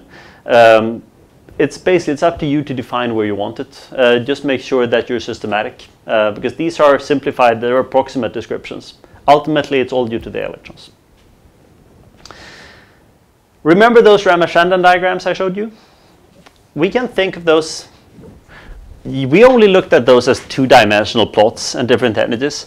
But you can think of them, drawing them three-dimensionally. We have some, this is not a strictly Ramachandran diagram, but we have phi on one axis and psi on the other. Then we can just let the height here be the energy. So low means low energy, that's good. High means high energy, that's bad. And then you can start to think of this, and again, even this just two, this just two degrees of freedom will give us something that looks like a landscape, right? So you're going to have some peaks, places where it's bad to be, and you're going to have some trolls, blue areas here where it's really good to be. But now life gets more complicated because if you are in one valley here and want to get over to another valley, you will always, there is always going to be some ridge you need to cross. And depending on how high these ridges are, occasionally you will be able to move to one valley from another, uh, and occasionally it's going to be too high so you can't get there. And you will almost never be on the peaks. And this is the so-called concept of energy landscape. And we can describe this a lot in as much detail as you want. The only caveat is these are super simple energy landscapes. These are two degrees of freedom. A typical protein, if we forget, and again, if we do the approximation we used yesterday, forget about everything except the torsion angles. Even for a small protein of say 50 residues, you're going to have 100 degrees of freedom. So that would be a 100 one-dimensional plot. And I'm not sure about you, but I find it really hard to visualize 100 one-dimensional spaces. So these are really good for thinking about things, but we should bear with this really, we can only draw these in three dimensions if it's two degrees of freedom. But when we talk about energy landscapes, we really talk about the ability and possibility of a molecule to explore different regions here and how expensive is it to move from one region to another. Because what could happen here, in principle, it's good to be at the low regions and it's bad to be at the high regions. But what if I am here? That's not the best place. This one would be the best place. But if this barrier is so high that it takes me a thousand years to get there, doesn't really help, right? I'm always going to be stuck in what I think is the best of worlds out there because I don't, I can't go across the saddle pointer. And in many cases, that's going to turn out to be the case. So we haven't proven this yet, but I'm going to whet your appetite. What the prions we talked about yesterday, these proteins that can misfold. What I'm going to come back to later on in the course is that what likely happens with prions is that the normal native state, the biologically normally functioning state, is a state like that. And we're typically very happy there, and normally nothing happens. But under some circumstances that we don't quite know about, you can cross the barrier to some other states that's even better, even lower energy. And it's we call that a misfolded state. Well, nature calls it a better folded state. The only problem is that that is bad for you biologically. So that's when you get these plaques or something. And of course, the second that some protein starts to form here, that might drop the barrier more and more. So you might start having more and more proteins go to the wrong place. And for prions, this is likely the case. But for now, you have to take my word for it. The only problem here, though, is that at some point we're going to need to decide how many particles are in red and how many particles are in the different blue places. Otherwise, it's not really going to help us a lot, apart from the fact that we can draw some beautiful pictures. So this now requires, we need to start on what is the probability of being somewhere as a function of what the energy in that state is, right? And this is complicated because there's pretty much only one way to deal with this, and this is called statistical mechanics. And it's a pretty tough area in physics. Uh, the good thing is that we're not going to go through all of physics, but there's this beautiful quote for you. Um, David Goodstein, he wrote a book about uh, statistical mechanics in the 1960s, and you could, well, sorry, it's a bit, uh, Ludwig Boltzmann, who spent much of his life studying statistical mechanics, died in 1906 by his own hand. Paul Ehrenfest, the students carrying on the work, died similarly in 1933. Now it is our turn to study statistical mechanics. Perhaps it will be wise to approach the subject cautiously.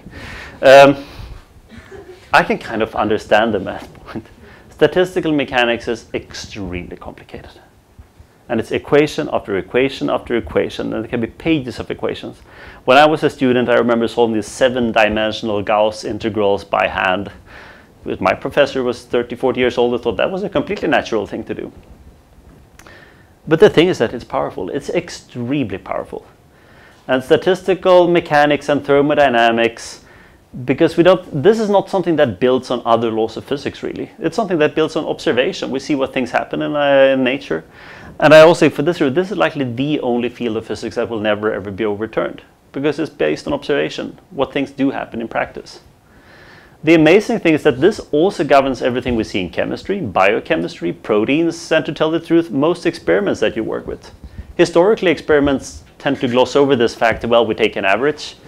You know, those average works great if you work in a test tube and one mole of something, but the second you start having single molecule experiments and you're looking at one or two or three molecules, you can no longer ignore statistical mechanics because nature is statistical in nature. The good thing is that we're not going to go through everything. The other good thing is that this was a pain in the days when we had to do everything with paper and pen. Today we have computers. And that makes, this is what I would argue why suddenly we can apply this in life science and everything because we let computers do the hard part. And this afternoon and tomorrow afternoon, you're actually going to do some very simple labs on this with computers, which means that you're not going to have to sit down and do the manual labor-intensive deduction. But there is one thing I'm going to show you, which is we're not going to have a whole lot of equations, but this is one equation that is important. I'm just going to throw this up. It's called the Boltzmann distribution. And this says the probability of being somewhere in a state, and right now I'm not even going to say what the state is. You can think of this as the blue point on the map, or you can think of the state of an electron. The, the probability of something happening. That is proportional to an exponential function raised to minus the difference in energy or the energy. Uh, because this probability, if it's a difference, it should be some difference compared to a reference state, divided by kT. K is Boltzmann's constant, and T is temperature. Because we have, this is just a constant, we're going to ignore that for now. What temperature is in the denominator there, what this means that if you take something like the speed of atoms in a gas, at low temperature, you're going to have a narrow distribution where the speed is fairly low. But as because it's it's much better to be at low energy states at low temperature. But as we're increasing temperature, I'm going to get a wider distribution, and I will also be able to populate higher energy states. In this case, higher speed. I haven't proven this at all. This is just something I've thrown out that this is going to turn out to be the case. And in principle, we can derive this. Um, that might not sound like an amazing thing, but it is amazing. We can derive this without assuming anything. This is both the major pain of physics, but also the beauty. We can have a system, a system that you don't know anything about. It's just a system with properties. Normally we say that that property is that we can exchange heat with the rest of the world, energy. And then you can show that this is universally true. If we're going to do that, we would spend the next hour or two hours at least, and half of you would not show up tomorrow. So I'm going to try to avoid that. Um, we might do that later on in the course. But just to at least argue that this is reasonable, I'm going to do that for a specific case. And then it actually turns out that all the properties of that specific case factors out. So in the end, the result doesn't depend on the, on the specific case at all. So I'm going to try to derive this in a fairly simple manner. Um, and deriving the Boltzmann distribution. Ah, stop me if you can't follow this. So this fairly simple manner is, at least this is the example I and the book could imagine. So if you have some sort of column or vessel, whatever, and we fill that with gas. Without knowing anything, you will probably agree with me, think of the, uh, the Earth atmosphere, that we're going to have higher density, we're going to have more molecules down here, right? And then we're going to have lower density, fewer molecules up here. Why is that? If you think of this being one kilometer high or so. Yes, because gravity pulls things down, right? So it's better to be down. But if we had all the molecules at height zero here, we would have an almost infinitely high pressure. So that pressure, pressure causes things to spread over the entire vessel, but on average it's better to be down. So we're going to have more down here, but then we're going to have less and less up here. And that actually, the gravity, that is really well described by the potential energy here, right? The higher up we are, the higher the energy is. And the lower down we are, the lower the energy is. So already here we can see that it's better to be in low energy, but we always have something in the high energy. So we can describe that energy with the height.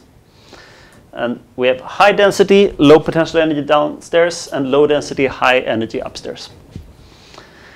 And as you also said, we have two effects here. Gravity pulls down, while pressure counteracts that, and pressure would, if we had no gravity, all the particles would be uniformly distributed in the vessel because there would not be any pressure gradients anymore. So let's study one particular tiny region here, the yellow one. And my question is really, how many molecules do we have here? Remember, that's because if we can say how many molecules, or at least the density of molecules, that really answers the question we were after, right? How likely is it to be somewhere as a function of the energy of that state? How do we determine that? Without sneaking, looking at the Need to know the volume. Sorry? We need to know how big the tube is. So this is the hard part, right? And there's normally when you do in maths, people throw all the information at you. In, in many ways, that's good because when you have all the information, you start to calculate the exact pressure, the exact volume, and everything. But of course, the beauty and the difficulty in physics, it doesn't depend on the exact volume. These laws are universal. And that is usually when you start out that it's very hard because you don't have any concrete numbers. And that you, you feel that you have nothing to work with you always do have something to work with because we can assume that that volume is V, for instance. And hopefully in the end it's going to turn out that the answer doesn't depend on V. If the answer depends on V, something either something went wrong or we used the wrong problem formulation. So that one solution to this is to aggressively introduce, for instance, the height or the volume or whatever we call things. But at equilibrium, when things don't change here, um, remember that I had these two forces, gravity and pressure. So when things don't change, they have they kind of have to be similarly strong, right? So that looking at this small volume, it has to be the same amount of uh, the gravity must exert the same type of work down as the pressure exerts up. If this was different, things would change, and then I would just wait until it has stabilized and look at it. So when things are stable and don't change anymore, I should be, they should be equal. And that also means if I'm standing here at some height h, if I go just a tiny bit up, dh, and that can be infinitesimally small. Well, so what happens here, that my pressure will have changed a bit because the pressure is lower higher up, right? And that change in pressure must correspond exactly to the amount of, well, the amount of gravity pull on this small volume down. So that usually when you have two things, in this case gravity and pressure, we just need to find when are they going to be equal, and then we just try to solve that equation and remove as many things until we hopefully end up with something simple at the end. We're going to try that. So the first thing we're going to use is the ideal gas law. Most of you are chemists, right? So we're going to start at that side. PV equals nRT. Okay, you're going to be happy in a minute if you're not a chemist. the pressure times the volume equals the number of particles multiplied the gas constant multiplied by the temperature. That is simple. If you're a chemist, the gas constant is roughly 8.3 per uh, uh, 8.3. The problem is that chemists love counting in moles. Physicists hate counting in moles. Physicists count atoms. The only difference here is Avogadro's constant. So sorry, this is a physics topic, so I'm going to change here. In physics, you say pressure times volume equals, this is still an n. It's a completely different n than that n, of course. This is the number of particles instead of the number of moles, par particles per mole. And this k, this is means a fundamental constant in nature called Boltzmann's constant. And again, the difference between k and r is just really Avogadro's number. But since we are, we're going to try to be physicists here. PV equals nkt. That just tells how much pressure do we have in a particular volume with the number of particles or atoms in this case and at a particular temperature. So you know what? Now we actually did what you suggested. We introduced the volume and I introduced the number of particles. But since we don't really know what that volume is, rather, can't we say we take the volume and divide by that on both sides, and then we can have a small n that just means the number of particles per volume. And then I've just gotten rid of the volume. This is a density. If you make the system twice as big, we just double the number of particles, but I also double the volume. The same laws should apply. So now I have one, one fewer strange pieces that I need to deal with. And that means that this equation is now P equals small n kt. That was the easy part. And well, as I said, that we're going to see, we would need to see what happens when I move up or down this column, right? And that's, well, the only thing that changes when I move up or down, that's the height. So let's take this small expression and derive it with respect to the position, the height. So the derivative of the pressure with respect to height, or P prime we could write too, because it's one-dimensional. That's, well, natural constants rarely change with height. Temperature doesn't change with height. It's also so this is really kT multiplied by the derivative of this particle density with respect to height. Not particularly complicated.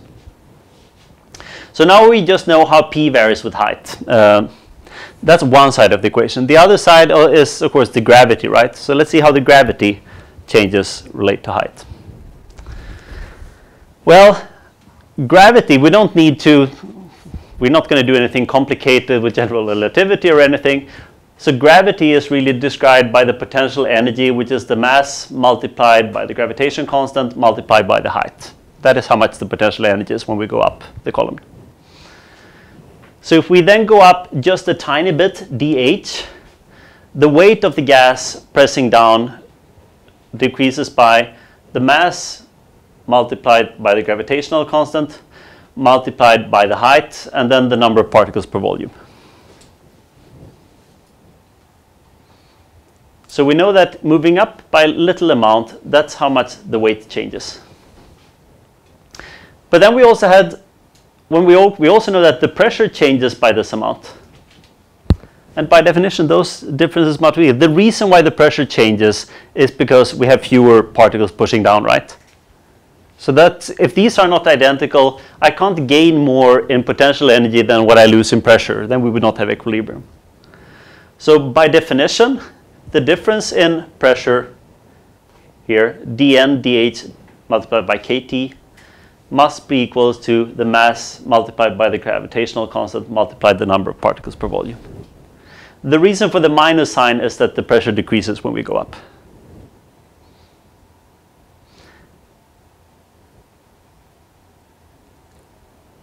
And then we can divide both of those sides by kt, so we simply get the derivative of the number of particles with respect to height is minus a bunch of constant stuff multiplied by the number of particles. That's a differential equation. First order differential equation, which is not very hard to solve, thank God. Uh, and I'm not going to expect you to solve differential equations. That's not part of the course. Uh, on the other hand, I also hate throwing out proofs or anything and then say you're just going to need to trust me what the result is. So the way I solve that equation is I have a derivative of n that results in an n there. The trick you use to that is say that if you derive a logarithm with respect to something, the derivative of the logarithm itself is 1 over the argument. And then we have the chain rule, which is going to be the derivative of the argument inside the logarithm.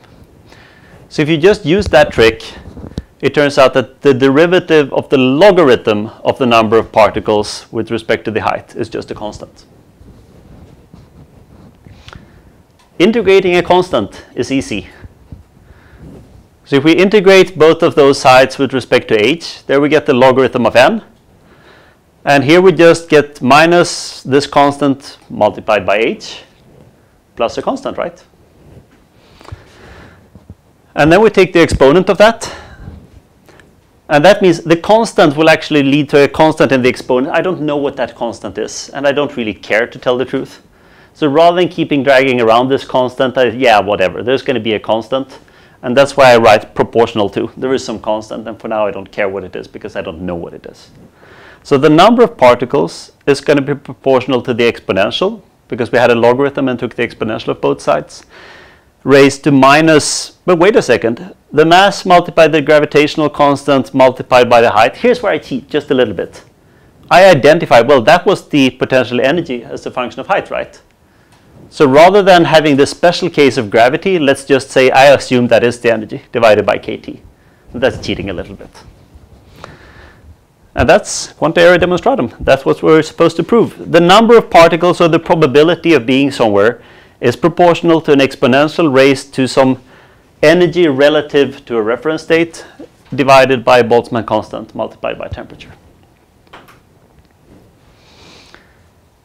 The book goes through this through, but in much less detail. The book spends four lines doing it, uh, and that's why I have these slides. So what is this constant going to be?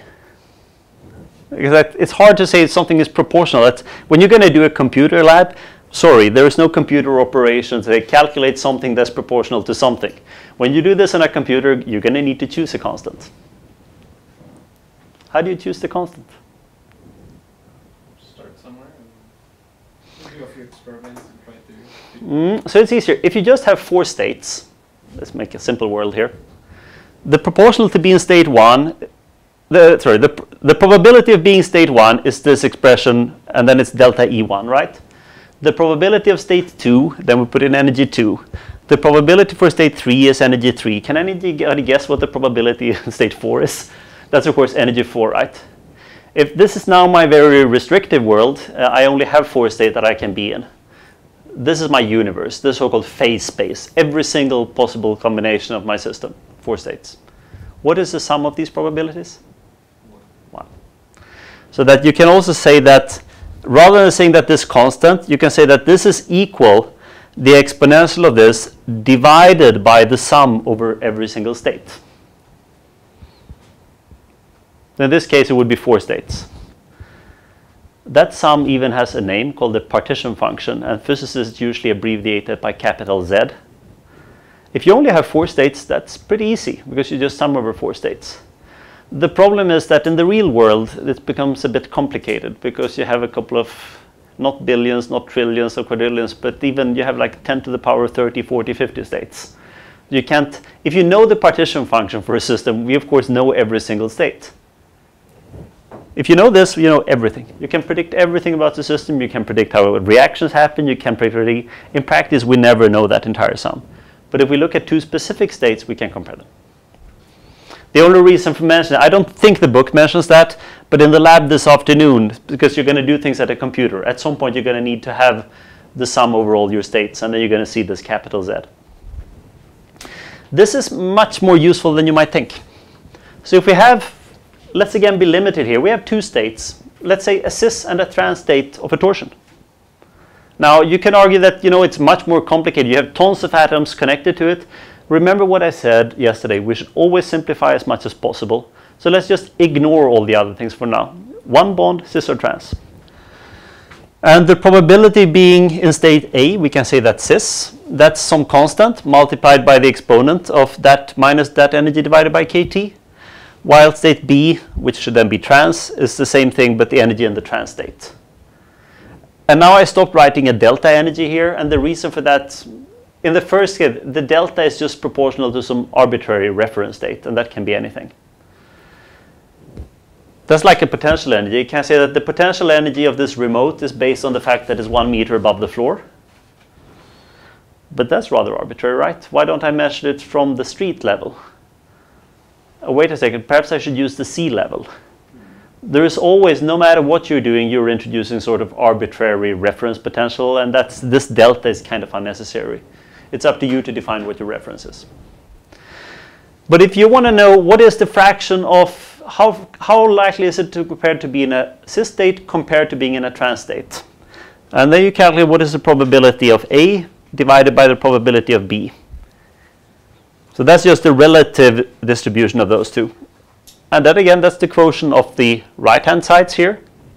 And if you know your exponential laws, if you take one exponent and divide by another, that corresponds to subtracting the arguments up there. So this will be an exponent minus delta, the difference between state A and B, divided by kt. So the second you have two states, you can compare how likely one state is relative to another directly with the Boltzmann distribution. It tells you everything. That is what you're going to do in the lab this afternoon.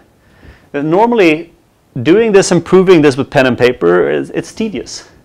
A computer, a Python program can do this. You just tell how likely is it to go from one state to another, and then eventually you're going to see that you actually, hopefully, if things go well, you're going to retrieve the Boltzmann distribution at the end of the labs. So the take-home message, lower energy states will always be more populated, but how much more populated they are depends on the temperature. At the point, if you eventually approach zero Kelvin, everything is going to be in the lowest possible states because this, this kind of explodes, right? Divided by zero, this would be minus infinity, and that would be zero. Oh, sorry, that would be plus, plus infinity. But on the other, if the temperature goes up, eventually, if the temperature is high enough, this argument will become zero. So at, at high enough temperatures relative to your energies, energy differences are not going to be important anymore. So eventually, if you just increase your temperature enough, you will be able to go over any barrier. And they, so you can think of this like an arbitrary energy scale, but the ruler on this energy scale, the units, is kT. So kT describes, that's the natural energy unit in the universe. So what is kT? There is a reason why I didn't tell you what the Boltzmann constant is. It's pointless. A guess? Yes, but I would know it. I'm, I'm thinking much more concrete than that. The number in kilojoules per mole or kilocalories per mole. Because we're chemists, so that we usually calculate per mole.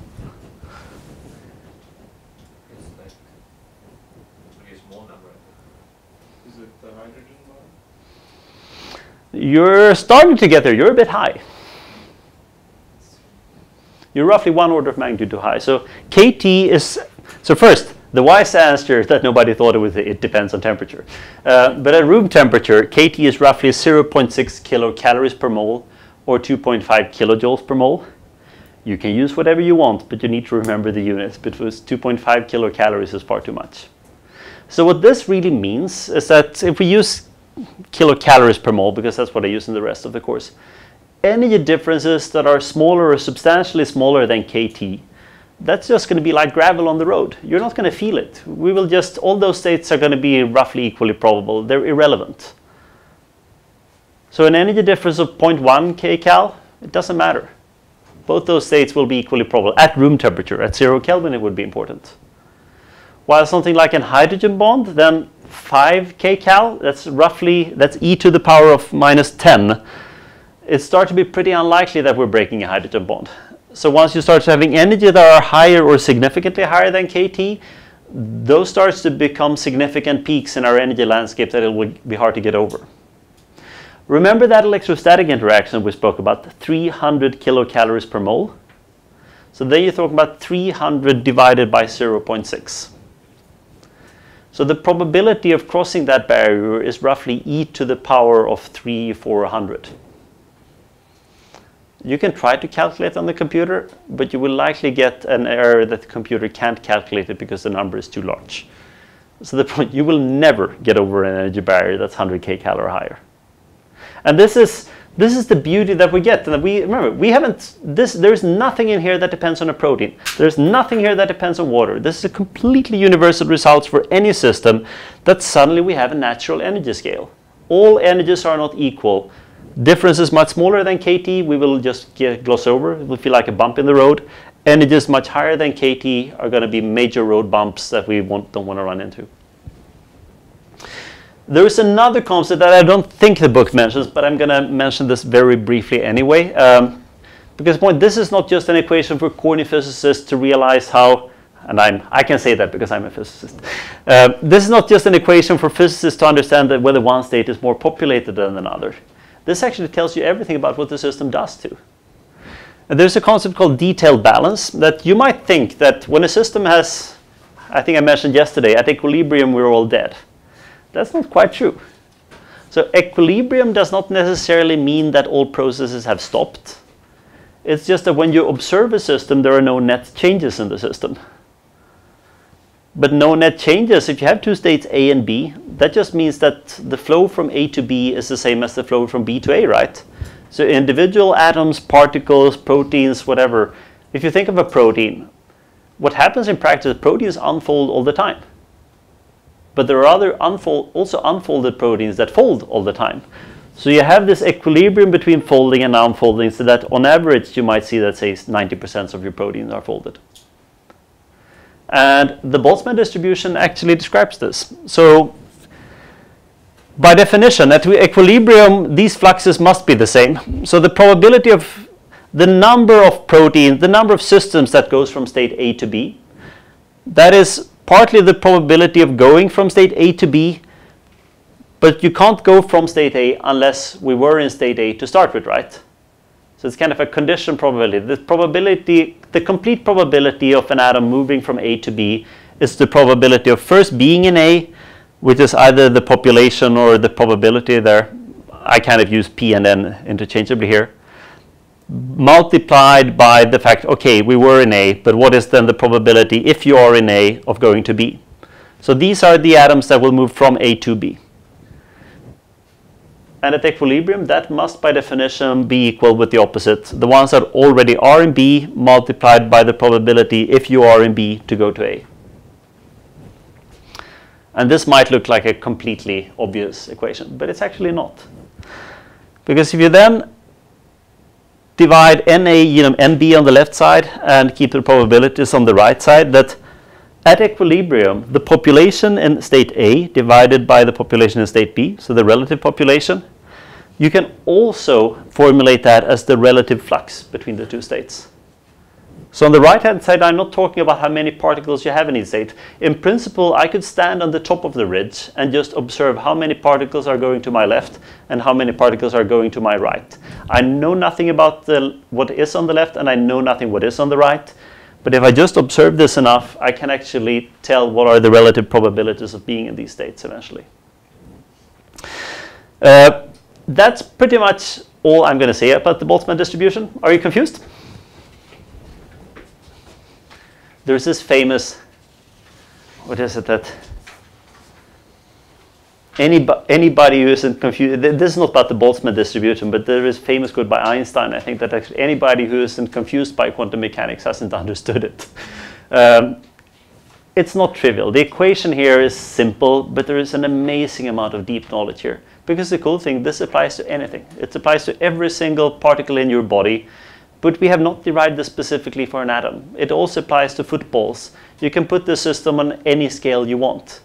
But this abstract nature of things, of course, what makes it complicated, right? We don't, we can't say what is the system, what is the probability, because it can be any probability. Just define what your state is, and just define what your probability is, and you're good. That is what you're going to do this afternoon, and I think we have a little bit of time here, so I will have a chance to go through the rest too. The problem is that that's not enough there is some some things that go wrong. And there is something we missed here. So you're going to start to do the first part at the lab. Hopefully everything will look really neat. And then you're going to go through the second part and realize there are complications. Since I have 20 minutes or so, I will go through this. My recommendation is if there's one thing you need to do today, focus on the Boltzmann distribution, focus on that in the lab. The second part I go through now is more to whet your appetite, and we're going to come back to this tomorrow. Remember when I showed you my gas container? I just showed you the one on the left. But what if it looked like one of those? Which one, of, if you had to pick one here and you somehow got scored the more atoms could be at lower energy, which one would you pick? And assume, now they're not equal volume, they should be equal volume. But Why? In this case, the circle would actually be largest volume, so you might very well be right, but assume that they all had the total volume the same. I would pick the one on, I would pick that one. Because here you have lots of room down here for particles that want to have very low energy, but we don't really need a whole lot of room for the ones that are going to have super high energy, right? But that's just based on a hunch. You haven't proven that at all. Um, so the problem here is that somehow the volume seems to matter and that's the volume that we kind of snuck out and we talked about part average particle density. The other problem is, what do you mean by volume? Volume works great if I derive this for a gas, but I just said that the whole point was that this was universal for a system. So the volume somehow describes how many different ways something can be in. In this way, how many different ways a particle can be in a container. Remember when we spoke about the electrons and the spins? Well, that is also a state in a way, right? An electron has a state. So occasionally we can talk about things in some sort of abstract state way, where we will still call it volume, but this you can think of this: how many alternative ways do I have to do something? And this could be if I need to enter, if I need to exit this room, I only have one option to exit it. If I had two doors, you can imagine that's two uh, possible ways. So it's we will call it volume, but it's not necessarily volume in the cubic decimeter sense. We can think of this as the number of available states too. But you know what? This is not very hard. If we assume this is volume, let's just do the math. So I'm going to do an advanced postulate. The volume of state A is volume A. So you see what I'm doing again here? It's exactly, if I don't know something, I just define it and call it that. And the volume of state B is, I didn't write that out, it's going to be VB. And I would also say to first, I will, the way I count things here is that the number of states is proportional to volume. That's just something I say. There is no universal definition of nature what a state is. But somehow the, the number of good things here is proportional to the volume. I can define anything I want. These are my equations. I think that if you're not in physics, that's something that you're usually very afraid to. You're, you're afraid to make assumptions. It's perfectly fine to make assumptions. The absolutely worst thing that can happen is that 49 slides from now on, I realize I'm in a bind. I have not been able to do anything. Then it's probably time to start going back and re revisit some of the assumptions. That's not going to happen here. Uh, but that happens all the time in research. I screw up all the time in my assumptions. Uh, and then somehow the probability should also be proportional to volume, right? If you have two good, well, if you have two doors, it's twice as easy to exit or something. So one way, it's really easy. The probability of somehow not just being in state A, but being in a volume A that has more than one state compared to volume B, then I should just multiply both those expressions to volume as a constant. There might be some other constant here too, but the other constant cancels out. That was easy. We just solved it, right? Um, there is one little problem here. What is the little problem I have? Can you use that in your lab? Why? No, there is no proportion. It's very straight, beautiful, equal. So what is the volume you're going to use in your lab? So this is just a completely arbitrary symbol that I introduced, right? You have absolutely no idea what that volume is. So this looks beautiful as an equation, and it's completely unusable in practice. And that's the danger, that you can introduce, you could argue that this is kind of a screw-up case. You can introduce any number of things I want, but at some point I need to get them to cancel out or remove or I'm going to be stuck in something that looks beautiful but it's unusable. This is unusable unless I know what the volume is. The problem is I don't know what the volume is. I have absolutely no idea what the volume is. And in principle, I'm stuck here. In principle. The advantage in the Church of Physics is that what do you do when you're stuck? Yeah, yes, we'll define something. Um, the energy here is somehow a property of this state, right? I would like to move this volume up in here so I could somehow group it and say that this is a property of the state. Let's see if I can do that. So I use a trick. The volume is just the exponential of the logarithm of the volume. Exponential and logarithm are the opposites, right? So that, that's, that doesn't mean anything. And then I can say, instead of having the volume as a factor in front of the exponent, I get the logarithm of the volume up in the exponent here on both sides. And then I can just, I would like to divide them both by kT. So I say that it's the exponent of minus the energy minus the temperature multiplied by Boltzmann's constants multiplied by the logarithm and then divided by kT. It looks absolutely horrible, I know. But you know what the funny thing is? That looks like a Boltzmann distribution. It's exactly the Boltzmann distribution. But instead of having my beautiful energy, I now have an energy minus the temperature multiplied by the Boltzmann's constant multiplied by some strange logarithm. But somehow, so this is kind of a correction factor or something to the energy that we can group together with the energy. I still can't solve this because I still have the nasty volume. And if I don't know what the volume is, I sure don't know what the logarithm of the volume is. But this, as a physicist, if I can't even get further with that definition, I can define this. I've, I've frequently I always called it energy. And remember, there were a couple of slides where I said that technically this is a free energy. If that is the energy, this entire group is what I'm going to call the free energy. And we're later going to see that that corresponds to the amount of energy that's available to perform work in a system. You don't know that now. You're going to have to take my word for it. But if we somehow, if you have E, can you imagine any other letter? We could just call that F, next letter in the alphabet. It comes natural, right? And then, because you don't know, in general, you don't know what the energy of a system is. Uh, you will just assume that or assume that you can calculate it. This is some other property. It's going to have the same units as energy. So let's just call that F. but that's kind of cheating, right? Because to calculate, if I can't calculate the logarithm of the volume, I sure can't calculate f just because I changed the symbol. So we're going to need to introduce something here. This, the temperature is kind of nice to have on the outside, but Boltzmann's constants multiplied by the logarithm of some volume, that's what I'm going to call, we need a name for it, so I'm going to call it entropy. How many of you have stumbled into entropy before? And then you try to understand it. You try to understand entropy, right? That's what all chemists try to do. You can't understand entropy. This is what physicists do. And entropy, this is just something that comes out as a result from an equation. And rather than having a logarithm of this is a physical definition. It's going to turn out that this definition is pretty darn useful because it corresponds to something. But an entropy, just as the energy is a property of a state, and again, the energy of the remote control as a function of the height over the table. If I have states and if I assume I can measure things, in principle, this is a this S is a property of a state that in theory at least we should be able to measure. At least differences should be possible to measure. So rather than just having an energy, we can define this free energy as being an this is really the expression I had, right? Energy minus temperature multiplied Planck's constant logarithm of volume, but then we replace k, l, and v with s.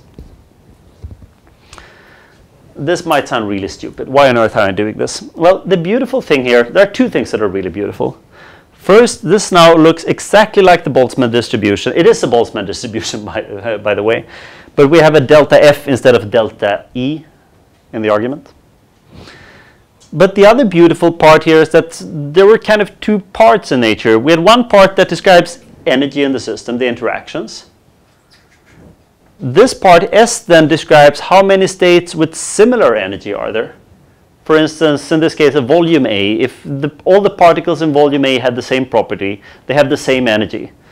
So S here somehow describes how large volume A is, that would be SA, while SB would describe how large volume B is. And rather than volume, we could think of this, it's not really a volume, it's a logarithm of volume. You can think of this as the number of available counted microstates or something. Don't try to understand this from now.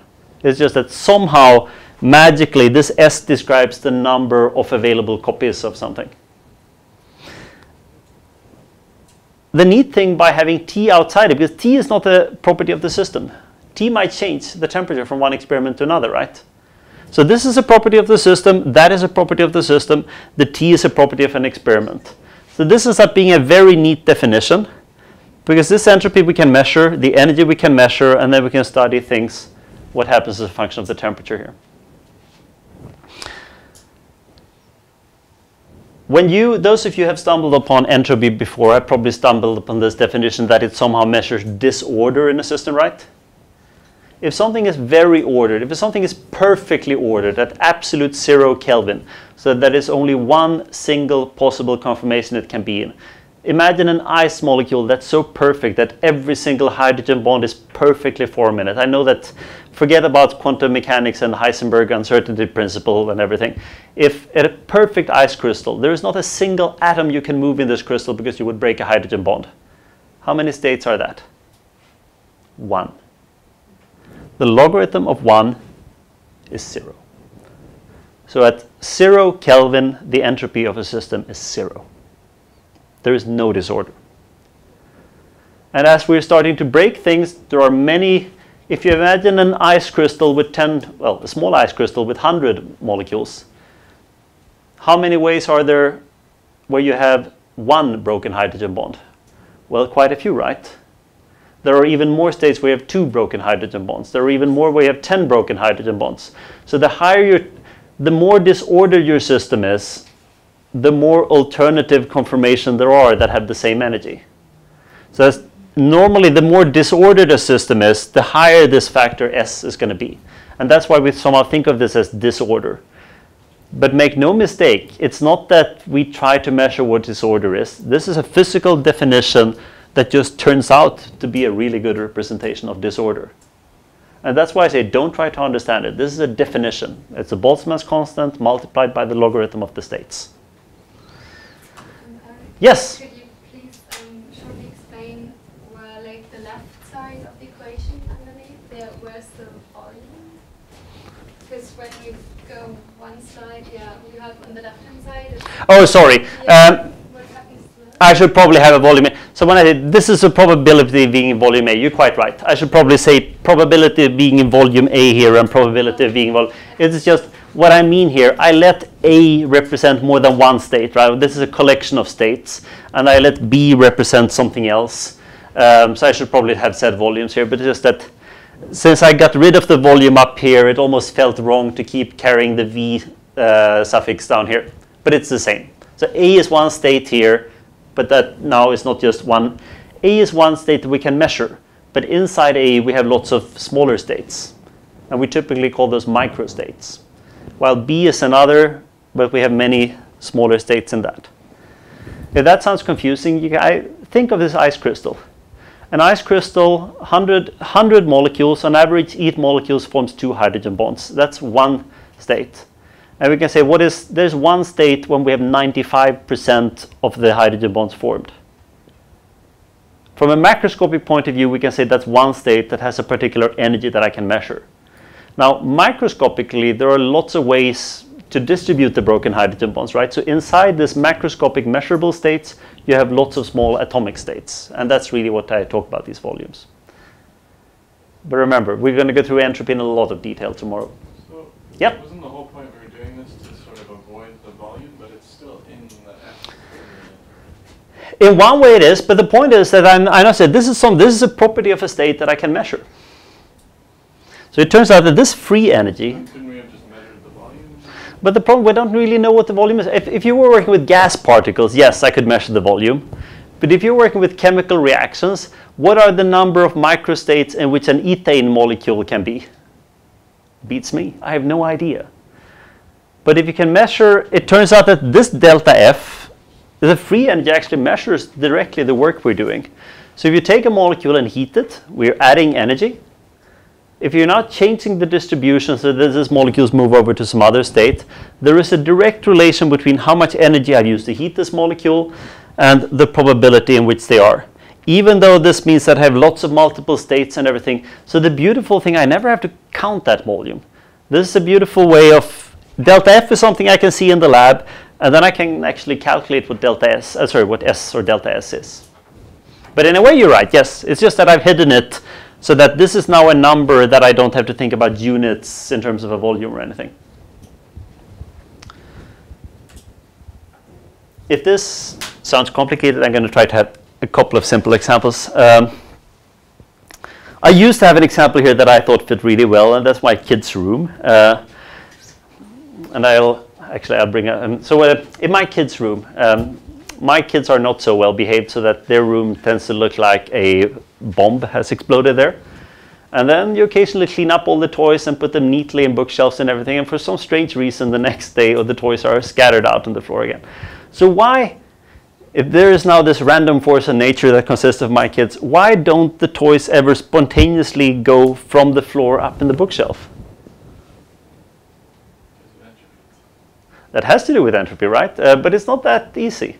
Uh, so perhaps we can do some. Those you might not have kids, so let's do something simpler. This is a desktop, and on my Mac you can actually sort things in these groups of folders so that we have multiple icons or something sorted together. So you can think of this as a state. Each of these folders or something is a macro state, so something I can measure, while all the small apps and everything here, that's my microstates.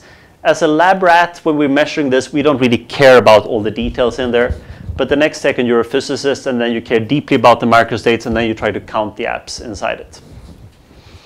So if you think in terms of lab states, that how many macroscopic lab states does this correspond to? Well, how many screenshots are there? 17? No, there's one screenshot. Oh. There's one picture. It's much easier than you think. Uh, the other alternative is, of course, this is probably a truer representation of my desktop usually looks like. Uh, let's ask the same question there. How many states does that correspond to? Yes. So that was the easy question. It's the same. In terms, and now you're thinking like physicists. It's one specific distribution of every single app or document on the desktop. It does not matter. You might, as a human being, you might think that looks, looks neater or something. But in terms of state, it's one specific distribution of all the components. And they could be atoms or apps or toys in my kid's room. But as an experimentalist, maybe this is the more relevant question. How many similar states are there? So this is a very well-ordered state. So how many similar states are there to that one? Well, how many similar states are there compared to that one?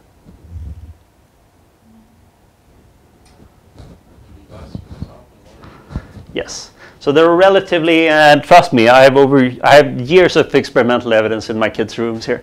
Uh, there are very few states that are ordered, simply because there are many more states that are random. And this is the difference, you see, that when we first originally defined Boltzmann, we only looked at one specific microstate at the time, one and one. But experimentally, you know, if you take those two documents and assume that those are the same type of documents, if you swap those, well, it's going to be the same energy. In your lab experiments, it's not going to change everything. You're still going to say that it has the same, I don't know what, absorbance or something. If you take proteins and you say, assume that these are proteins, and let's say we unfold that molecule, but that molecule was unfolded, so let's fold that one again. You have exactly the same amount of folded protein, you're going to get exactly the same spectroscopic signal. So experimentally, you have many states that give the same signal. Macroscopically, it's one state, but microscopically inside it, you have many substates. But you have few ordered substates and many disordered ones, and that's what we describe with entropy. So this one is low S, and this one is very high S. And we have actually now derived one of the most important things, actually, because we can't prove this, because this is based on um, our, our and this is. Why can't I prove this? It might feel like as if we proved something, but I haven't. No, I've, the, we only did this. I introduced a bunch of definitions and assumptions, and I said, given those assumptions, we lead to something. The concept of a state, we haven't proven what a state is. And therefore, you can't prove what a state is, because this is ultimately a concept in your minds. Now, and this is the problem, because this is both the, the really big problem with thermodynamics, but also the beauty. This is not based on something else being true. It's not that if somebody shows that the law of gravity is slightly different, that will change thermodynamics. It won't. Because thermodynamics is based on observations and our concept of things. And what we've actually gone through here is the first law of thermodynamics, you probably know that we can't create or destroy energy. That would be a perpetuum mobile. The whole concept of entropy is really that the entropy of an isolated system, not in equilibrium, will increase over time and approach a maximum when it reaches equilibrium. So and the total sum of entropy, if you have multiple components, you can certainly have one part of the system going down in entropy, but then another will go up. And this comes that the disorder in the, in the world always increases. This is very much related to the arrow of time in modern physics. The arrow of time, the reason why time goes forward is because of entropy. Entropy always increases. You can't prove this. It's a postulate.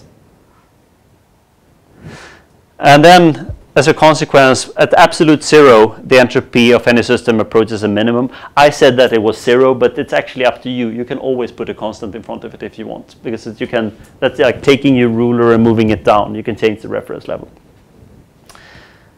But you know what the beautiful thing is? Now you can start explaining lots of things with this. Things that were a bit hard before, but it's going to turn easy. We're not going to do this for proteins. We will save that for tomorrow. Or so. Uh, and actually, I'm not even going to do proteins tomorrow. I'm going to do amino acids tomorrow. So let's do a phase transition. Ice. If there's one equation, uh, sorry, if there are two equations, the three equations you can learn. no, two equations you should learn today. Boltzmann distribution is the first one. If you have room for another one, learn that free energy is energy minus temperature multiplied by entropy. This is an equation that's very easy to learn. It's very hard to really understand it. And even I make mistakes. Um, water or H2O can exist either in the form of ice or in the form of liquid water. And you all know that around zero degrees centigrade, something happens, right? Something happens at 100 degrees centigrade too, when virtually all compounds in nature go through these phase transitions. So if you look at ice, and this is an ideal piece of ice that would really be zero Kelvin or close to it. But this state is characterized by very, very high order. But here's the complication you also have a beautiful energy here because every single hydrogen bond is formed, right? So that the energy here is low. The lower the temperature gets, the better it is. And you also have an extremely low entropy because it's a highly ordered system. So that term is low and that term is also low. So they're kind of gonna they're gonna have opposite signs here. So they will counteract each other. What can you say from that? Forget about the right hand side for now.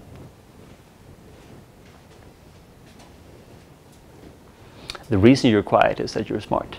You can't say anything about it. Like, if I say that the free energy here is 49, will you trust me? That's a very bad idea. Don't trust. The point, you need some sort of scale here, right? It doesn't mean anything unless you start comparing it to something. So this equation is usually pointless until you start looking at differences in free energy. Differences in free energy always corresponds to either getting work from a system or putting work into a system. And it turns out that every single measurement you can do in a lab corresponds to a free energy. You're measuring something. So the key thing here is to look at the right-hand side. And the right-hand side, we have liquid water. The energy here is much higher, and high energy is bad in physics. We don't have condensed systems have low energy when things are uh, advantageous. So high energy is bad for a molecule the entropy here, I say that it's medium. You could say that it's high. Um, the reason I say medium is that if you turn this to gas, it would be even higher, right? So the problem here, what I now did is that, okay, the term on the left-hand side, E became higher, and the term on the right-hand side also became higher. So this is still hard to say something about. But the third part is really the temperature here. Because depending on what temperature you have, we're going to change the balance between energy and S, right? So if T is zero, how important is the entropy? If T is zero, the entropy is irrelevant, right? Because that term will be gone. So at zero degrees, you would always try to adopt the state that had the best possible energy. And that would be a super ice. That's absolutely perfect. You would do anything to maintain all the hydrogen bonds no matter how ordered your system became. And conversely, at infinite temperature, you can't, don't imagine how you would get there, but at the temperature that's high enough, the energy becomes irrelevant and everything depends on entropy, right? So eventually, when you're high up enough, we will do anything to make sure that we can be as disordered as possible, no matter how much energy we lose from it. And that's eventually what's going to happen in a gas or something we will lose every single hydrogen bond if necessary because the temperature is so high that it's more important to be as disordered as you can be. So what happens around zero uh, degrees centigrade, for instance, is that when we are ice at minus five degrees, this first term is still just so slightly larger than the second one, and then it's better to be ice. But the second you're at plus one degree centigrade, now that term became larger. And then it's suddenly better to be liquid water. So the entropy really, the balance between energy or enthalpy, as we're going to call it later, and entropy can describe phase transitions. We can describe way more complicated things than phase transition with this. So I'm going to give you a food for thought. The book actually goes through this, but I figured you should have some, there should be some carrot for reading the book. You can explain the hydrophobic effect with this. Can you imagine how?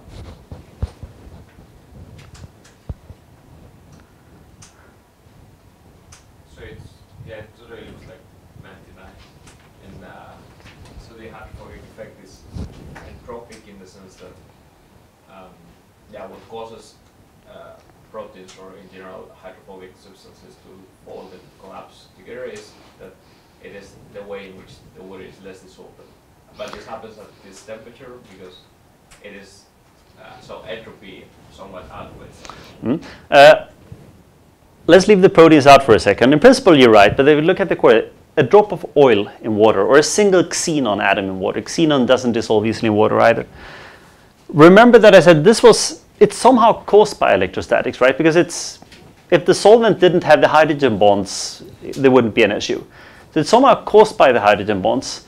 But then we had this perplexing effect, but before adding the xenon, we had a given number of hydrogen bonds. And the second we put the xenon in, we have how many hydrogen bonds? Maybe a few less? No, roughly the same. Remember that the water will do anything to maintain their hydrogen bonds. So we haven't lost a single hydrogen bond. So while it might seem obvious that hydrophobicity is an electrostatic effect, it's not. The electrostatic energy is identical before and after adding something. But the problem is that to be able to maintain all those hydrogen bonds, all your waters went through this acrobatics to form this shell structure around your solute. Is that a more or less well-ordered state? Less? No, it's a more. Uh, sorry, it's a less. It's, it's a. It's a more ordered state, right? If you're forming a shell, compared to having waters that can mobile and move around and anything, and now we say that the waters have to have a specific shell structure around one given molecule. You're forcing the water to become ordered. There is suddenly a fewer. Uh, we will go through that in detail tomorrow, and I will actually have some experimental evidence for it so that the entropy becomes lower when you're putting the xenon in water. So that the hydrophobic effect is actually an entropic effect. And it's not at all an electrostatic effect, although it's caused by electrostatics, but it's not an electrostatic effect. Could you imagine any way to prove this? Again, now I'm just standing here and talking. You don't have to believe me. Can you imagine any way to show this experimentally?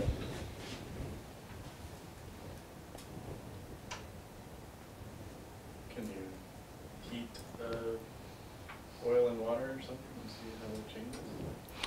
So what would you predict? Or I guess if you brought it towards zero, the solution? So there's one problem here is that if you start doing experiments with water below zero, it's going to be somewhat difficult because it's no longer water, it's ice. Yeah. So let's stay above zero. But I guess, I think Oliver's right, like if you're going up, wouldn't that mean that you're needing more temperature and like the order would be going down because you'd be kind of, So what, what, so what happens here is that as we are increasing the temperature, I can start to alter the balance between these two factors, right? So that as I'm increasing the temperature, I can start to look at the solubility of various compounds as a function of temperature. And if the solubility of these compounds is the same, regardless of temperature, then it's an electrostatic effect, right? Or it's an energetic effect at least. But if the solubility changes as a function of temperature, it's an entropic effect. Or the solubility decrease with increase That's a good question. too many Could we inconsistencies. There are only two possible answers to it. one of them is wrong and the other one is right. What do you think?